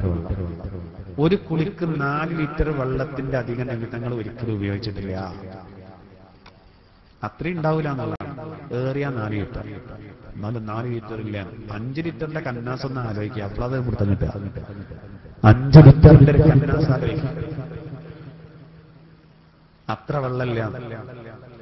നാനൂറ് ലിറ്റർ മതിയാവണില്ല ചില ആൾക്കാർ നാനൂറ്. കാരണം എന്താ? അഞ്ഞൂറ് ലിറ്റർ കൊള്ളുന്ന ടാങ്ക് നിറച്ചിട്ട് കുളിക്കാൻ കയറിയതാണ്. പിന്നെ ഒരാൾ ഒരു ബക്കറ്റ് വെള്ളം എടുത്തപ്പോൾ കഴിഞ്ഞു. മറ്റേ ആളെ കുളി കഴിഞ്ഞതാണ്. ഈ ജാതി ആളുകൾ. എന്നാലെ ഓലിങ്ങനെ തീന്ന് പറയണേട്ടാൽ ഭയങ്കര ശ്രദ്ധയെക്കാരല്ലോ ഒരു നേഴ്സൊക്കെ അല്ല നോക്കും. നോക്കണ്ടെന്നല്ല. ഇത് അതിലേറെ ശ്രദ്ധിക്കേണ്ട കാര്യല്ലേ? ശ്രദ്ധിക്കൂല. ഇനി ശ്രദ്ധിച്ചോളൂ. ഉണ്ടായിട്ടാണ് ഈ കാട്ടിക്കൂട്ടൽ ഇല്ലെങ്കിൽ ബന്ധം എന്താ? കണ്ടല്ല ചില ആൾക്കാരെ തള്ളി പൊളിച്ച് നിൽക്കില്ല തന്നെ. വിമാനത്തിലൊക്കെ പെരിയിൽ ഉപയോഗിക്കാൻ കഴിയും എന്ന് കരുതിയോലുണ്ട് അതുപോലെ വെള്ളം ഉപയോഗിക്കാൻ കഴിയും. എന്നിട്ട് അവിടെ ഒച്ചപ്പാടുണ്ടാക്കണം ഓരോ ഒച്ചപ്പാടുണ്ടാക്കിയാലും കാര്യമില്ല. കൾച്ചറില്ലാതെ ഒരു രക്ഷയില്ല. എന്താ ചെയ്യാ? ഞാൻ പറയുന്നത് സഹോദര നമ്മളെപ്പോഴും ചിന്തിക്കണം. നമ്മുടെ പൂർവീകരായ ആളുകൾ അവർ അള്ളാഹുവിന്റെ തിരുദൂതനെ വല്ലാതെ അനുകരിച്ചു. അപ്പൊ നമ്മൾ ഇതാണ് നമ്മൾ ചിന്തിക്കേണ്ടത്. നമുക്ക് എന്തെങ്കിലുമൊക്കെ ഒരു പ്രയാസം ആദ്യത്തെ വിഷയത്തിലേക്ക് തന്നെ വരും. എന്തെങ്കിലുമൊക്കെ ചെറിയൊരു വിഷയം പ്രയാസം വരുമ്പോഴേക്ക് നമ്മൾ നിരാശപ്പെടാണ്. നിരാശപ്പെടേണ്ട ആവശ്യമില്ല. ഇങ്ങനെ ചിന്തിക്കണം. നമ്മുടെ പൂർവീകർ ഒരുപാട് ത്യാഗം സഹിച്ചു. ഒരിക്കലും വിധങ്ങൾ പറഞ്ഞു. നോക്കൂ ഒരിക്കലും വിധങ്ങൾ പറഞ്ഞു. ഒരു പ്രവാചകന് ശത്രുക്കളെടുത്ത് ഏറ് കിട്ടി എന്നിട്ട് ചോര നെറ്റി പൊട്ടിയിട്ട് ചോര ഇങ്ങനെ ഒലിച്ചു വന്നു. ആ രക്തത്തുള്ളികളെങ്ങാനും ഭൂമിയിലേക്ക് ഉറ്റ വീണ് ഉറ്റ വീണാൽ അള്ളാഹുവിന്റെ കോപമുണ്ടാകും ശത്രുക്കൾക്ക്. അപ്പൊ ആ പ്രവാചകൻ ശത്രുക്കളോട് പോലും ദയ കാണിച്ച് ആ രക്തം ഭൂമിയിലേക്ക് ഉറ്റു വീടാൻ സമ്മതിച്ചില്ല മുഖത്ത് പുരട്ടിയത് അസ്വാഭാവികമാര് പരസ്പരം പറഞ്ഞു ആരാണ് ആ പ്രവാചകൻ അറിയോ റസൂൽ തന്നെയാണ്. റസൂൽ റസൂലിനെ പറ്റി പറയണം. സഹോദര നിങ്ങൾ ചിന്തിക്കണം നോക്കൂ നിങ്ങൾ അന്ത്യപ്രവാചകന്റെ എത്തിപ്പെട്ടിയിട്ടാണ് ചോര വരുന്നത്. ആ തോയിഫിന്റെ ഒക്കെ മണ്ണെന്ന് സഹിച്ച് റസൂൽ ചെരുപ്പും അങ്ങനെ തളം കെട്ടി നിന്നാണ് ചോര. റസൂലിന്റെ തള്ളി ചില ക്ലിപ്പിങ്ങുകളൊക്കെ ഉണ്ടല്ലോ ഗുജറാത്തിൽ നിന്ന് മറ്റും വെറുതെ നമ്മുടെ സഹോദരങ്ങളെ അടിച്ച്. സഹോദര അള്ളാന്റെ തിരുദൂതൻ. അള്ളാഹുവിന്റെ തിരുദൂത തോയിഫിന്റെ മണ്ണിൽ നിന്ന് അവർ ഓടിച്ചിറങ്ങും ഓടിച്ചിറങ്ങും. യുവാക്കളെയും കുട്ടികളെയും വിട്ടിട്ട് കല്ലെറിഞ്ഞ് എത്ര പ്രയാസപ്പെട്ടു ഈ പ്രവാചകൻ. ഇത് ആലോചിക്കുമ്പോ ഇന്ന് നമ്മുടെ പ്രയാസങ്ങൾ വല്ലതുമാണോ? ഒന്നുമല്ല. ഒന്നുമല്ല സഹോദര എത്ര പ്രയാസങ്ങളുണ്ടോ അള്ളാഹുവിന്റെ അള്ളാഹുവിൽ നിന്ന് കൂലിയുണ്ടാകും. പ്രയാസം ഉണ്ടാകാൻ ദ്വാ ചെയ്യാൻ പാടില്ല. പക്ഷെ പ്രയാസമുള്ളവർക്ക് അള്ളാഹു കൊടുക്കും. ഫലസ്തീന്റെ മണ്ണിൽ നമ്മൾ കാണുന്ന രംഗം അതല്ലേ സഹോദര മെഷീൻ ഗണ്ണുമായി വരുന്ന ചൂതപ്പെട്ട ആൾക്കാരോട് ഏറ്റുമുട്ടുന്നത് കരിങ്കല്ലിന്റെ ചികളുമായി ഫലസ്തീനിലെ ബാലന്മാർ എത്ര പ്രയാസങ്ങൾ അവർ സഹിക്കുന്നത്. എത്ര പെണ്ണുങ്ങൾ ക്രൂരമായി ബലാത്സംഗത്തിനിരയായി. എന്തിന് സഹോദര? നമ്മുടെ ഇന്ത്യ മഹാരാജ്യത്ത് തന്നെ പരിശോധിച്ചാൽ മഹാത്മാഗാന്ധിജിയുടെ നാട്ടിൽ എത്ര പേര് അതിക്രൂരമായി കത്തിച്ചു കളഞ്ഞു എത്ര പേര്? ചിലരൊക്കെ പറയുന്നുണ്ടല്ലോ അത്ര പേരെ ഞങ്ങൾ പരലോകത്തേക്ക് അയച്ചു എന്നൊക്കെ പരസ്യമായിട്ട് പ്രസംഗിക്കുന്നുണ്ട്. ഞങ്ങളോട് കളിച്ചാൽ അങ്ങനെയായിരിക്കും. എന്ത് കളി? എന്ത് കളി സഹോദര? സത്യവിശ്വാസികൾ എല്ലാ കാലത്തും ക്രൂരമായിട്ട് പേടിപ്പിക്കപ്പെട്ടിട്ടുണ്ട് ഗുജറാത്ത് കലവുണ്ടായ സമയത്ത് ഒരു മുൻ എം പിയും കുടുംബവും വരെ എന്തായി? കത്തിക്കരിഞ്ഞു അവർ. വീട് തീ കൊടുക്കുകയാണ് ചെയ്യുന്നത്. ചരിത്രത്തിൽ തുല്യതയില്ലാത്ത രൂപത്തിൽ. ഇന്നതാ മ്യാൻമറിൽ ബുദ്ധ തീവ്രവാദികൾ ചെയ്യുന്ന സഹോദര അങ്ങനെ എത്ര ഗസയിൽ നേരത്തെ കണ്ടിലെ ആക്രമണം? ഇങ്ങനെ ലോകത്തിന്റെ ഏത് ഭാഗത്തും. അപ്പൊ നമ്മൾ ഓർക്കണം അങ്ങനെ ഒരു സാഹചര്യം വരരുത്. വരാതിരിക്കാനുള്ള വഴികൾ സ്വീകരിക്കണം. സമാധാനത്തിന്റെ വഴി അഥവാ വന്നാലോ ക്ഷമിക്കണം. സ്വർഗം. ഏത് ഘട്ടത്തിലും വിളിച്ചു. അപ്പൊ ഹവാരിങ്ങൾ നമ്മളും ഇതേ രീതി സ്വീകരിക്കണം. ഇനി നോക്കൂ ഈസ നബി അലൈഹി സ്വലാത്തു വസ്സലാമിന്റെ അനുയായികൾ അവർ പ്രാർത്ഥിച്ചത് ഖുറാൻ ഉദ്ധരിച്ചു. ഞാൻ നേരത്തെ ഉദ്ധരിച്ചു ഇനിയോ നമ്മൾ എങ്ങനെ ദുവാ ചെയ്യേണ്ടത് നബിയുടെ സ്വഹാബത്ത് ദുവാ ചെയ്തതിനെ സംബന്ധിച്ച് അള്ളാഹു താല അതേ സൂറത്തിൽ തന്നെ പറയുന്നുണ്ട് അതിങ്ങനെയാണ് ബിസ്മില്ലാഹിർ റഹ്മാനിർ റഹീം ربنا إننا سمعنا مناديا ينادي للإيمان أن آمنوا بربكم فآمنا ربنا فاغفر لنا ذنوبنا وكفر عنا سيئاتنا وتوفنا مع الأبرار ربنا وآتنا ما وعدتنا على رسلك ولا تخزنا يوم القيامة إنك لا تخلف الميعاد നമ്മൾ ദ്വാരക്കണ്ട എങ്ങനെയാണ് അതായത് ഈസ നബിയുടെ അനുയായികൾ ദ്വാര ചെയ്തത് ആലു ഇമ്രാന്റെ ആദ്യ ഭാഗത്ത് പറയുന്നു നബിയുടെ അനുയായികൾ ഹബാരിയങ്ങൾ ദ്വാ ചെയ്തത്. അത് സൂറത്ത് ആനു ഇമ്രാന്റെ തന്നെ അവസാന ഭാഗത്ത് പറയുന്നുണ്ട്. എല്ലാ തഹജ് നിസ്കാരം കഴിഞ്ഞാലും റസൂൽ ഓതിയിരുന്ന ഭാഗമാണ് തഹജ്ജുദ് നിസ്കാരം കഴിഞ്ഞാൽ അള്ളാഹുവിന്റെ തിരുദൂതർ ഓതിയിരുന്ന ഭാഗമാണ്. ആലു ഇമ്രാന്റെ അവസാന ഭാഗം. ആലു ഇമ്രാൻ സൂറത്തിന്റെ അവസാന ഭാഗം നിബിധങ്ങൾ എല്ലാ ദിവസവും ഓതിയിരുന്നു. തഹജ് നിസ്കരിച്ചിട്ട് സുബൈന്റെ മുമ്പായിട്ട്. അത് മറക്കണ്ട. അതിൽപ്പെട്ട പ്രാർത്ഥനയാണ് ഏത്? അന്ന് സ്വഹാബത്ത് ഇങ്ങനെ പറഞ്ഞു റബ്ബനാ ഇന്നനാ സമീനാ മുനാദിയൻ യുനാദി ഈമാൻ. അൻ ആമിനൂ ബിറബ്ബിക്കും ഫആമന്നാ നാദാ വിളിച്ചു പറയുന്ന ഒരാൾ വിളിച്ചു പറയുന്നത് ഞങ്ങൾ കേട്ടു. റസൂലാണ് അതുകൊണ്ടുള്ള ഉദ്ദേശം. വിളിച്ചു പറയുന്ന ആൾ റസൂലാണ് എന്താ വിളിച്ചു പറയുന്നത്? സത്യവിശ്വാസത്തിലേക്ക് വിളിച്ചു പറയുന്ന ആൾ വിളിച്ചു പറയുന്നു. എന്താ വിളിച്ചു പറയുന്നത്? നിങ്ങൾ നിങ്ങളുടെ റബ്ബിനെ കൊണ്ട് വിശ്വസിച്ചോളൂ എന്ന് വിളിച്ചു പറയുന്നുണ്ട്. അങ്ങനെ ഞങ്ങൾ വിശ്വസിച്ചിരിക്കുന്നു അള്ളാഹു ആ കൂട്ടത്തിൽ നമ്മളെ ഉൾപ്പെടുത്തുമാറാവട്ടെ. നോക്കൂ ആലു ഇമ്രാനിൽ നിന്ന് ഇത് നമ്മൾ ഓതുമ്പോളെ ആലു ഇമ്രാന്റെ അവസാന ഭാഗം ഇത് നമ്മൾ ഓതുന്ന സമയത്ത് ല ഇന്ന ഫീ ഹൽക്കി സമാവാത്തി വല്ല അവിടുന്നെങ്കിലും ഓത. അങ്ങനെ ഓതുന്ന സമയത്ത് ഇതിങ്ങനെ ഓതുമ്പോൾ ഒരു പ്രാർത്ഥനയായിട്ട് വരാം. നമ്മളങ്ങനെ ഓതിയാണ് പ്രാർത്ഥന സംഭവിക്കാം നമ്മൾ ആല ഇമ്രാൻ സൂറത്തിന് മൂന്നാമത്തെ സൂറത്ത് ആലു ഇമ്രാൻ. ഇരുന്നൂറ് ആയത്തുകളുള്ള ആലു ഇമ്രാൻ അതിൽ നൂറ്റി എൺപത്തി എൺപത്തി ഒമ്പത് മുതലോ അല്ലെങ്കിൽ നൂറ്റി തൊണ്ണൂറ് മുതലോ ഇന്നഫി ഹൽക്കി സമാധി അവിടെ നോദിയാണ് നൂറ്റി തൊണ്ണൂറ് മുതൽ ഇരുന്നൂറ് വരെ പതിനൊന്നായിരം അത് നമ്മൾ ഓതുന്ന സമയത്ത് അതിൽ ഈ പ്രാർത്ഥന വരുന്നുണ്ട്. ഏതുപോലെ? നമ്മൾ ഓതുമ്പോൾ മാറും മാറും മാറും മാറും. സൂറത്തുന്നാസ് നമ്മൾ ഓതുമ്പോൾ ഫലക്ക് നമ്മൾ ഓതുമ്പോൾ ഒരു പ്രാർത്ഥനയായിട്ട് മാറുന്നു. ആയത്തിൽ കുറിച്ച് ഓതുന്ന സമയത്തിന് പ്രാർത്ഥനയായിട്ട് മാറുന്നു. ആമന റസൂൽ ഓതുമ്പോൾ അത് പ്രാർത്ഥനയാകുന്നു. എന്നതുപോലെ ഇവിടെ നമ്മൾ പ്രാർത്ഥിക്കണം. നമ്മൾ ഇങ്ങനെ ഓതി കൊടുത്താൽ മതി റബ്ബന മുനാദിയൻ ഇല ഈമാൻ. ആമിനൂ ബിറബ്ബിക്കും ഫആമന്നാ നാദാ. നമ്മൾ വിളിച്ചു പറയാണ് അള്ളാഹുവോട് നമ്മൾ വിളിക്കുകയാണ് ഈമാനിലേക്ക് സത്യവിശ്വാസത്തിലേക്ക് വിളിച്ചു പറയുന്ന ഒരാൾ വിളിച്ചു പറയുന്നത് ഞങ്ങൾ കേട്ടു. എന്താ വിളിച്ചു പറയുന്നത്? നിങ്ങൾ നിങ്ങളുടെ രക്ഷിതാവിനെ കൊണ്ട് വിശ്വസിച്ചോളൂ. റബ്ബിക്കും നിങ്ങൾ റബ്ബിനെ കൊണ്ട് വിശ്വസിച്ചോളൂ എന്ന് വിളിച്ചു പറയുന്നത് ഞങ്ങൾ കേട്ടു. നാദാ ഞാൻ നിങ്ങൾ നബി പറയുന്നത് നേരെ കേട്ടിട്ടില്ല. കേട്ടു നീ തെളിവാണ് ഈ ഓതുന്നതന്നെ തന്നെ. ഖുർആൻ കിട്ടും. അതുകൊണ്ട് ഞങ്ങൾ വിശ്വസിച്ചിരിക്കുന്നു റബ്ബന ഫഗ്ഫിർ ലനാ ദുനൂബന വകഫിർ അന്നാ സയ്യിആതിനാ റബ്ബേ ഞങ്ങൾ പാപങ്ങൾ പുറത്തു തരണം. ഞങ്ങളെ ദോഷങ്ങൾ ഞങ്ങളോട് നീ മാപ്പാക്കി തരണം. വത്തവഫന മഅൽ അബ്റാർ. അബ്റാറിങ്ങളോട് കൂടെ ഞങ്ങളെ നീ മരിപ്പിക്കണേ. ആരാ അബ്റാറിങ്ങൾ അബ്രാരിങ്ങളുടെ ഒന്നാമത്തെ അടയാളം എന്താ നിങ്ങൾ നേർച്ച ചെയ്താൽ നേർച്ചയാക്കിയാൽ അതൊരു പൂർത്തിയാക്കും. കിണർ കുത്തിയാൽ കിണർ കുത്തിയിട്ട് വെള്ളം കണ്ടാൽ പത്താം ക്ലാസ്സിലേക്ക് ചായ നേർച്ചാക്കി കണ്ടു. ഇന്ന് ആ നെയ്യപ്പൻ ചായയാണ് നമ്മൾ കുടിച്ചത്. ക്ലാസ് റൂം വഴി ഇത് ശ്രദ്ധിച്ചുകൊണ്ടിരിക്കുന്ന സഹോദരങ്ങൾ കരുതും ആ നെയ്യപ്പം വെള്ളം ഇറക്കിയിട്ടുണ്ടാവും. സഹോദര അള്ളാ അള്ളാ അള്ളാഹു താല ഖുർആാനിൽ ഒരു ഭാഗത്ത് പറയുന്നുണ്ട് അബ്രാ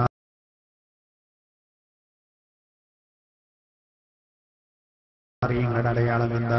യോഹിന് പുണ്യവാനുള്ളവരായിരിക്കും. ചിലർ നേർച്ചാക്കും കാര്യം ശരിയായാൽ പിന്നെ ആ ശ്രദ്ധിക്കുക കുടുങ്ങിയ സാഹചര്യത്തിൽ അല്ലേ? ഭാര്യന്റെ പ്രസവം റാഹത്തായ രൂപത്തിലാണ് നടന്നാൽ ഞാൻ പള്ളിയൊക്കെ ആയിരം രൂപ കൊടുക്കുന്നു.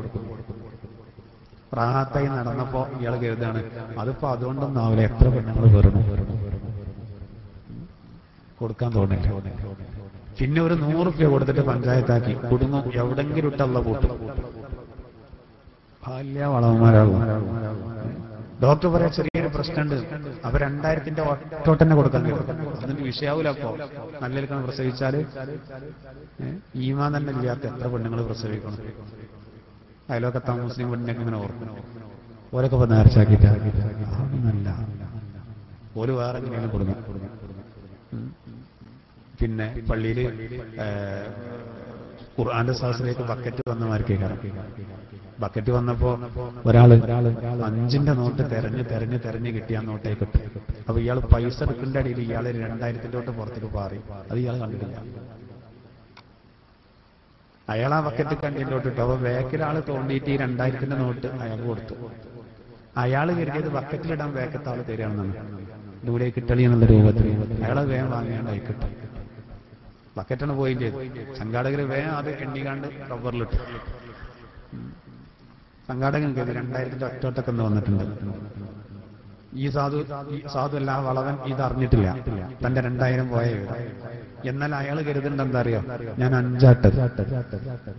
ആ സഹോദരൻ രണ്ടായിരം അട്ടത് അവന് ലോട്ടറി അടിച്ചു. ഇങ്ങനെ കടാൻ. എന്നാ ഓൻ ചിന്തിക്കുന്നു? അവസാനം പിന്നെ ഇത് മനസ്സിന്ന് പോകുന്നില്ല. രണ്ടായിരത്തെ ബക്കറ്റിലിടുക ഒരു അവസരം കിട്ടിയപ്പോൾ അവനോട് ചോദിച്ചു. എന്നോട് പറഞ്ഞു അന്ന് ഞാൻ സമ്മതിച്ചു രണ്ടായിരത്തിന്റെ ഒറ്റോട്ടാൾ അന്ന് ബക്കറ്റിലിടാൻ എന്റെ അടുത്ത് തന്നത്. അയാൾ രണ്ടായിരത്തിന്റെ അത് ഞാൻ ഞാൻ നിങ്ങളെ പൈസ കേസ് എന്ന് പാറിയതാണ് അത്. ഞാൻ നിങ്ങൾക്ക് തന്നായിരുന്നു. പിന്നെന്തേ ആയത് അറിയില്ല. കാരണം അറ്റാക്ക് ഉണ്ടാവും. ഫിഷ്കുമാരെ സംബന്ധിച്ചിടത്തോളം അങ്ങനെയൊക്കെ തന്നെ ഓരോരുത്തർ നിന്ന് ഇറങ്ങുള്ളൂ. പോട്ടെ ഞാൻ പറയുന്നത് നോക്കൂ. വളരെയധികം വളരെയധികം നമ്മൾ ശ്രദ്ധിക്കേണ്ട ഒരു കാര്യം. അപ്പോ ദ്വാരക്കാണ്. അള്ളാഹുവോട് ദ്വാരക്കാം. മോമിനിങ്ങൾ ദ്വാരക്കേണ്ടത് എങ്ങനെ? സഹോദര ഈ സത്യവിശ്വാസത്തിലേക്ക് ഒരാൾ വിളിച്ചപ്പോൾ ഞങ്ങളത് കേട്ടു. അള്ളാഹുവെ ഞങ്ങൾ വിശ്വസിച്ചിരിക്കുന്നു. നമ്മളിതിങ്ങനെ ഓതുമ്പോ പ്രാർത്ഥന വരികയാണ്. ദോഷങ്ങൾ പൊറുക്കണേ അപറാറിയങ്ങളോടുകൂടെ ഞങ്ങളെ മരിപ്പിക്കണേ. ആരാ അപറാറിയങ്ങൾ അവറാറിയങ്ങളുടെ അടയാളാണ് ഒരു നേർച്ച പൂർത്തീകരിക്കും പാവങ്ങളെ സഹായിക്കുന്നത് വലിയ പുണ്യമുള്ള കാര്യമാണ്. അതുകൊണ്ടാണ് അതുപോലെ ഫാത്തിമ ഹസൻ ഇവരെ പറ്റി പ്രത്യേകം അവറാറിയങ്ങൾ എന്ന് ഖുർആൻ പറഞ്ഞിട്ടുണ്ട്. അവരെ പേര് പറഞ്ഞിട്ടില്ല. അവർ കാരണം ഇറങ്ങിയിട്ടുണ്ട് അബ്രാറിയങ്ങൾ കാരണം എന്താ അവരാണ് അത്രക്കും പുണ്യം ചെയ്തു എന്നാണ് നമ്മൾ എന്നും ദ്വാരക്കുന്ന എന്താ? ആ പുണ്യവാന്മാരോടുകൂടെ മരിക്കാൻ വേണ്ടി നമ്മൾ ദ്വാച്ച പുണ്യവാന്മാര് മരിച്ചതുപോലെ ഉറക്ക കലിമ ചൊല്ലി മരിക്കാൻ. അള്ളാഹു നമുക്ക് തൗഫീക്ക് നൽകുമാറാവട്ടെ. വീണ്ടും ദ്വാരക്കുന്നത് നോക്കും. നമ്മളെങ്ങനെ അത് വരക്കണം ഹവാരിങ്ങൾ മഹാനായ റയീസ് നബിയുടെ ശിഷ്യന്മാര് ദ്വാ ചെയ്തു. ഈ നബിയുടെ ഉമ്മത്തായ നമ്മൾ ദ്വാ ചെയ്യേണ്ടത്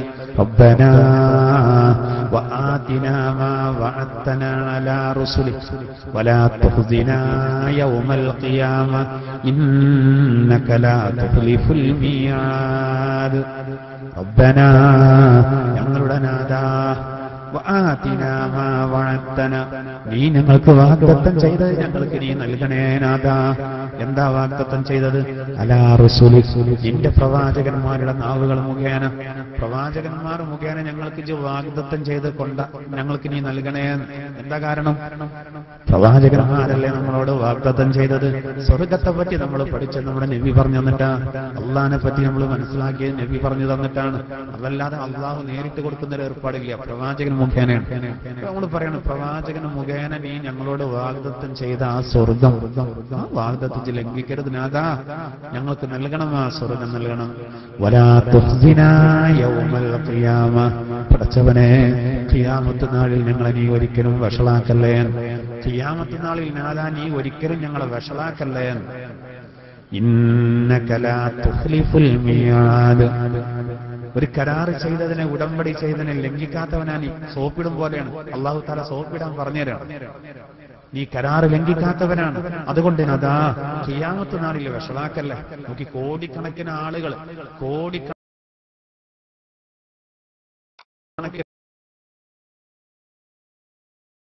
ആളുകളുണ്ടെങ്കിലും അവിടെ വിഷമത്തിരണ്ടുണ്ടാവും ഉണ്ടാവും? മനസ്സിലായി പോകരുത്. ഇവിടെ വെച്ചാൽ പൊങ്ങാടിയായത്തിലുള്ള മുഴുവൻ ആളുകൾക്കും അവരെ ശരിക്ക് കൃത്യമായ രേഖ ശരിയാക്കണം. ഓരോ വരുമാനം കാര്യങ്ങൾ ഒക്കെ എല്ലാം കൃത്യമായിട്ട്. അതിന് ഇന്ന് രാവിലെ എട്ട് മണി മുതൽ ഇന്ന് വൈകുന്നേരം അഞ്ചു മണിന്റെ അടിയിൽ കൂട്ടിലങ്ങാടി പഞ്ചായത്തിലുള്ള മുഴുവൻ ആളുകളുടെയും രേഖ ശരിയാക്കണം എന്നാണ് അറിയിപ്പ് വന്നിട്ടുള്ളത്. അങ്ങനെ പതിനായിരക്കണക്കിന് ആളുകൾ പഞ്ചായത്തിന്റെ ഓഫീസിന്റെ മുന്നിലാണ്. അല്ലെങ്കിൽ വില്ലേജ് ഓഫീസിന്റെ മുന്നിലാണ്. ഇവർ പറഞ്ഞ രൂപത്തിൽ ഓരോരുത്തരുടേതും പരീക്ഷിക്കുകയാണെങ്കിൽ ഒരു നൂറ് ആളുകളുടേത് പരിശോധിക്കുമ്പോഴേക്ക് അഞ്ചു മണി കഴിയും. പിന്നെ എന്താവും? കാര്യമായിട്ട് ഒരു പരിശോധന നടത്തില്ല. പോട്ടെ. നേരല്ല. പോട്ടെ പോട്ടെ പോട്ടെ. പോട്ടെ പോട്ടെ ഇങ്ങനെ പറഞ്ഞിട്ട് പതിനായിരക്കണക്കിന് ആളുകൾ ഇത് എട്ട് മണി മുതൽ അഞ്ചു മണി വരെ തീർക്കാൻ വേണ്ടിയിട്ട് എന്ത് ചെയ്യും? സ്പീരണ കൂട്ടും. എല്ലാവരും കഴിച്ചില്ല. എല്ലാവരും കഴിച്ചില്ല.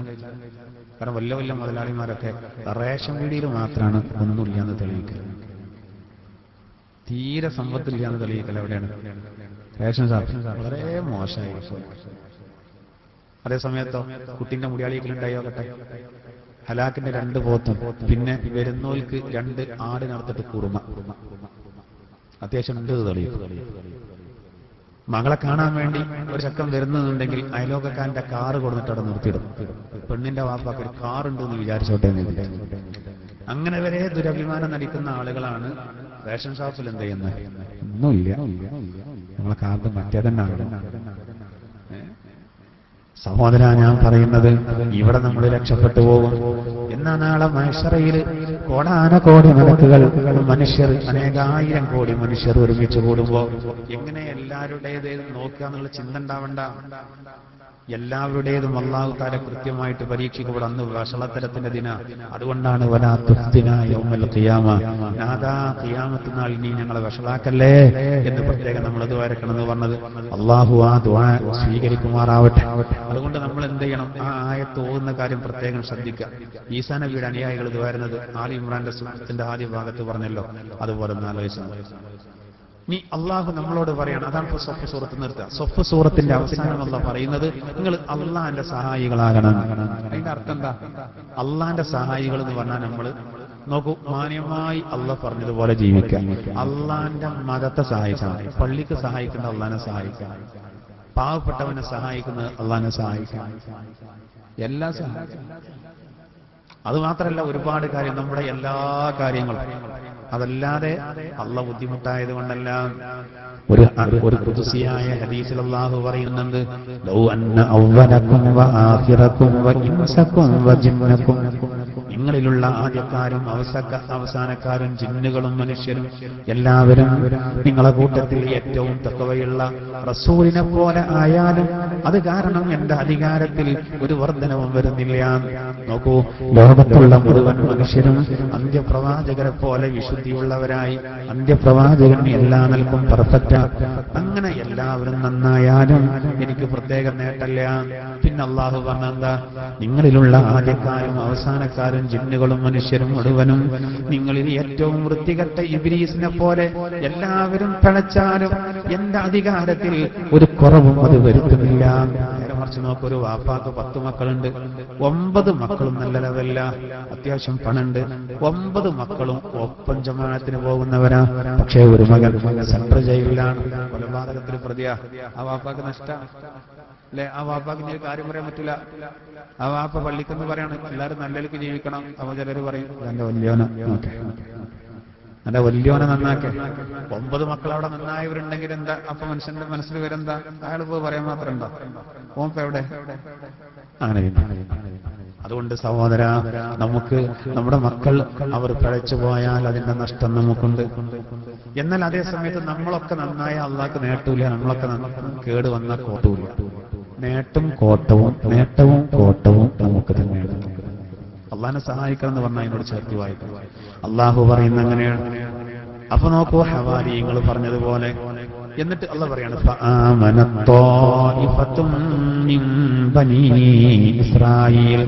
ഇസ്രായേൽ സന്തതികളിൽ നിന്ന് ഒരു വിഭാഗം അവർ വിശ്വസിച്ചു.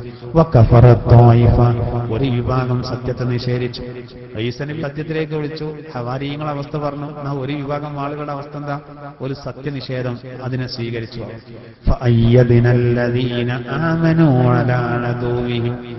സത്യവിശ്വാസികൾക്ക് സത്യനിഷേധികൾക്കെതിരെ നാം വിജയം നൽകി നാം ശക്തി നൽകി അവർക്ക്. ഇതൊക്കെ നമ്മളിന്ന് ചിന്തിക്കേണ്ടതാണ്. ഒരു കൂട്ടർ സത്യനിഷേധത്തിൽ ഉറച്ചു നിന്ന് പ്രശ്നങ്ങൾ ഉണ്ടാക്കി അല്ല പറയുന്നത്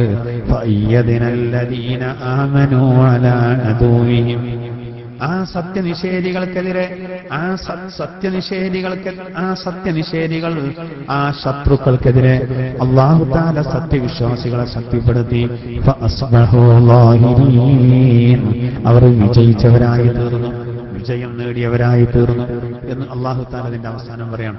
ഇത് മുസ്ലിങ്ങളെ ഏറെ ചിന്തിക്കേണ്ടതാണ്. അള്ളാഹുവിന്റെ സഹായം നമുക്ക് ഏത് സമയത്തും ഉണ്ടാകും. ഇൻഷാ അല്ലാ അൽ മുംതഹന സൂറത്താണ് നമുക്ക് വിശദീകരിക്കാനുള്ളത്. അത് നമുക്ക് അടുത്ത ക്ലാസ്സിൽ വിശദീകരിക്കാം. അള്ളാഹു സുഹാനഹുവ താല നമ്മൾ പറഞ്ഞതും കേട്ടതും സാലിഹായ അമലായി അള്ളാഹു കബൂലാക്കുമാറാകട്ടെ.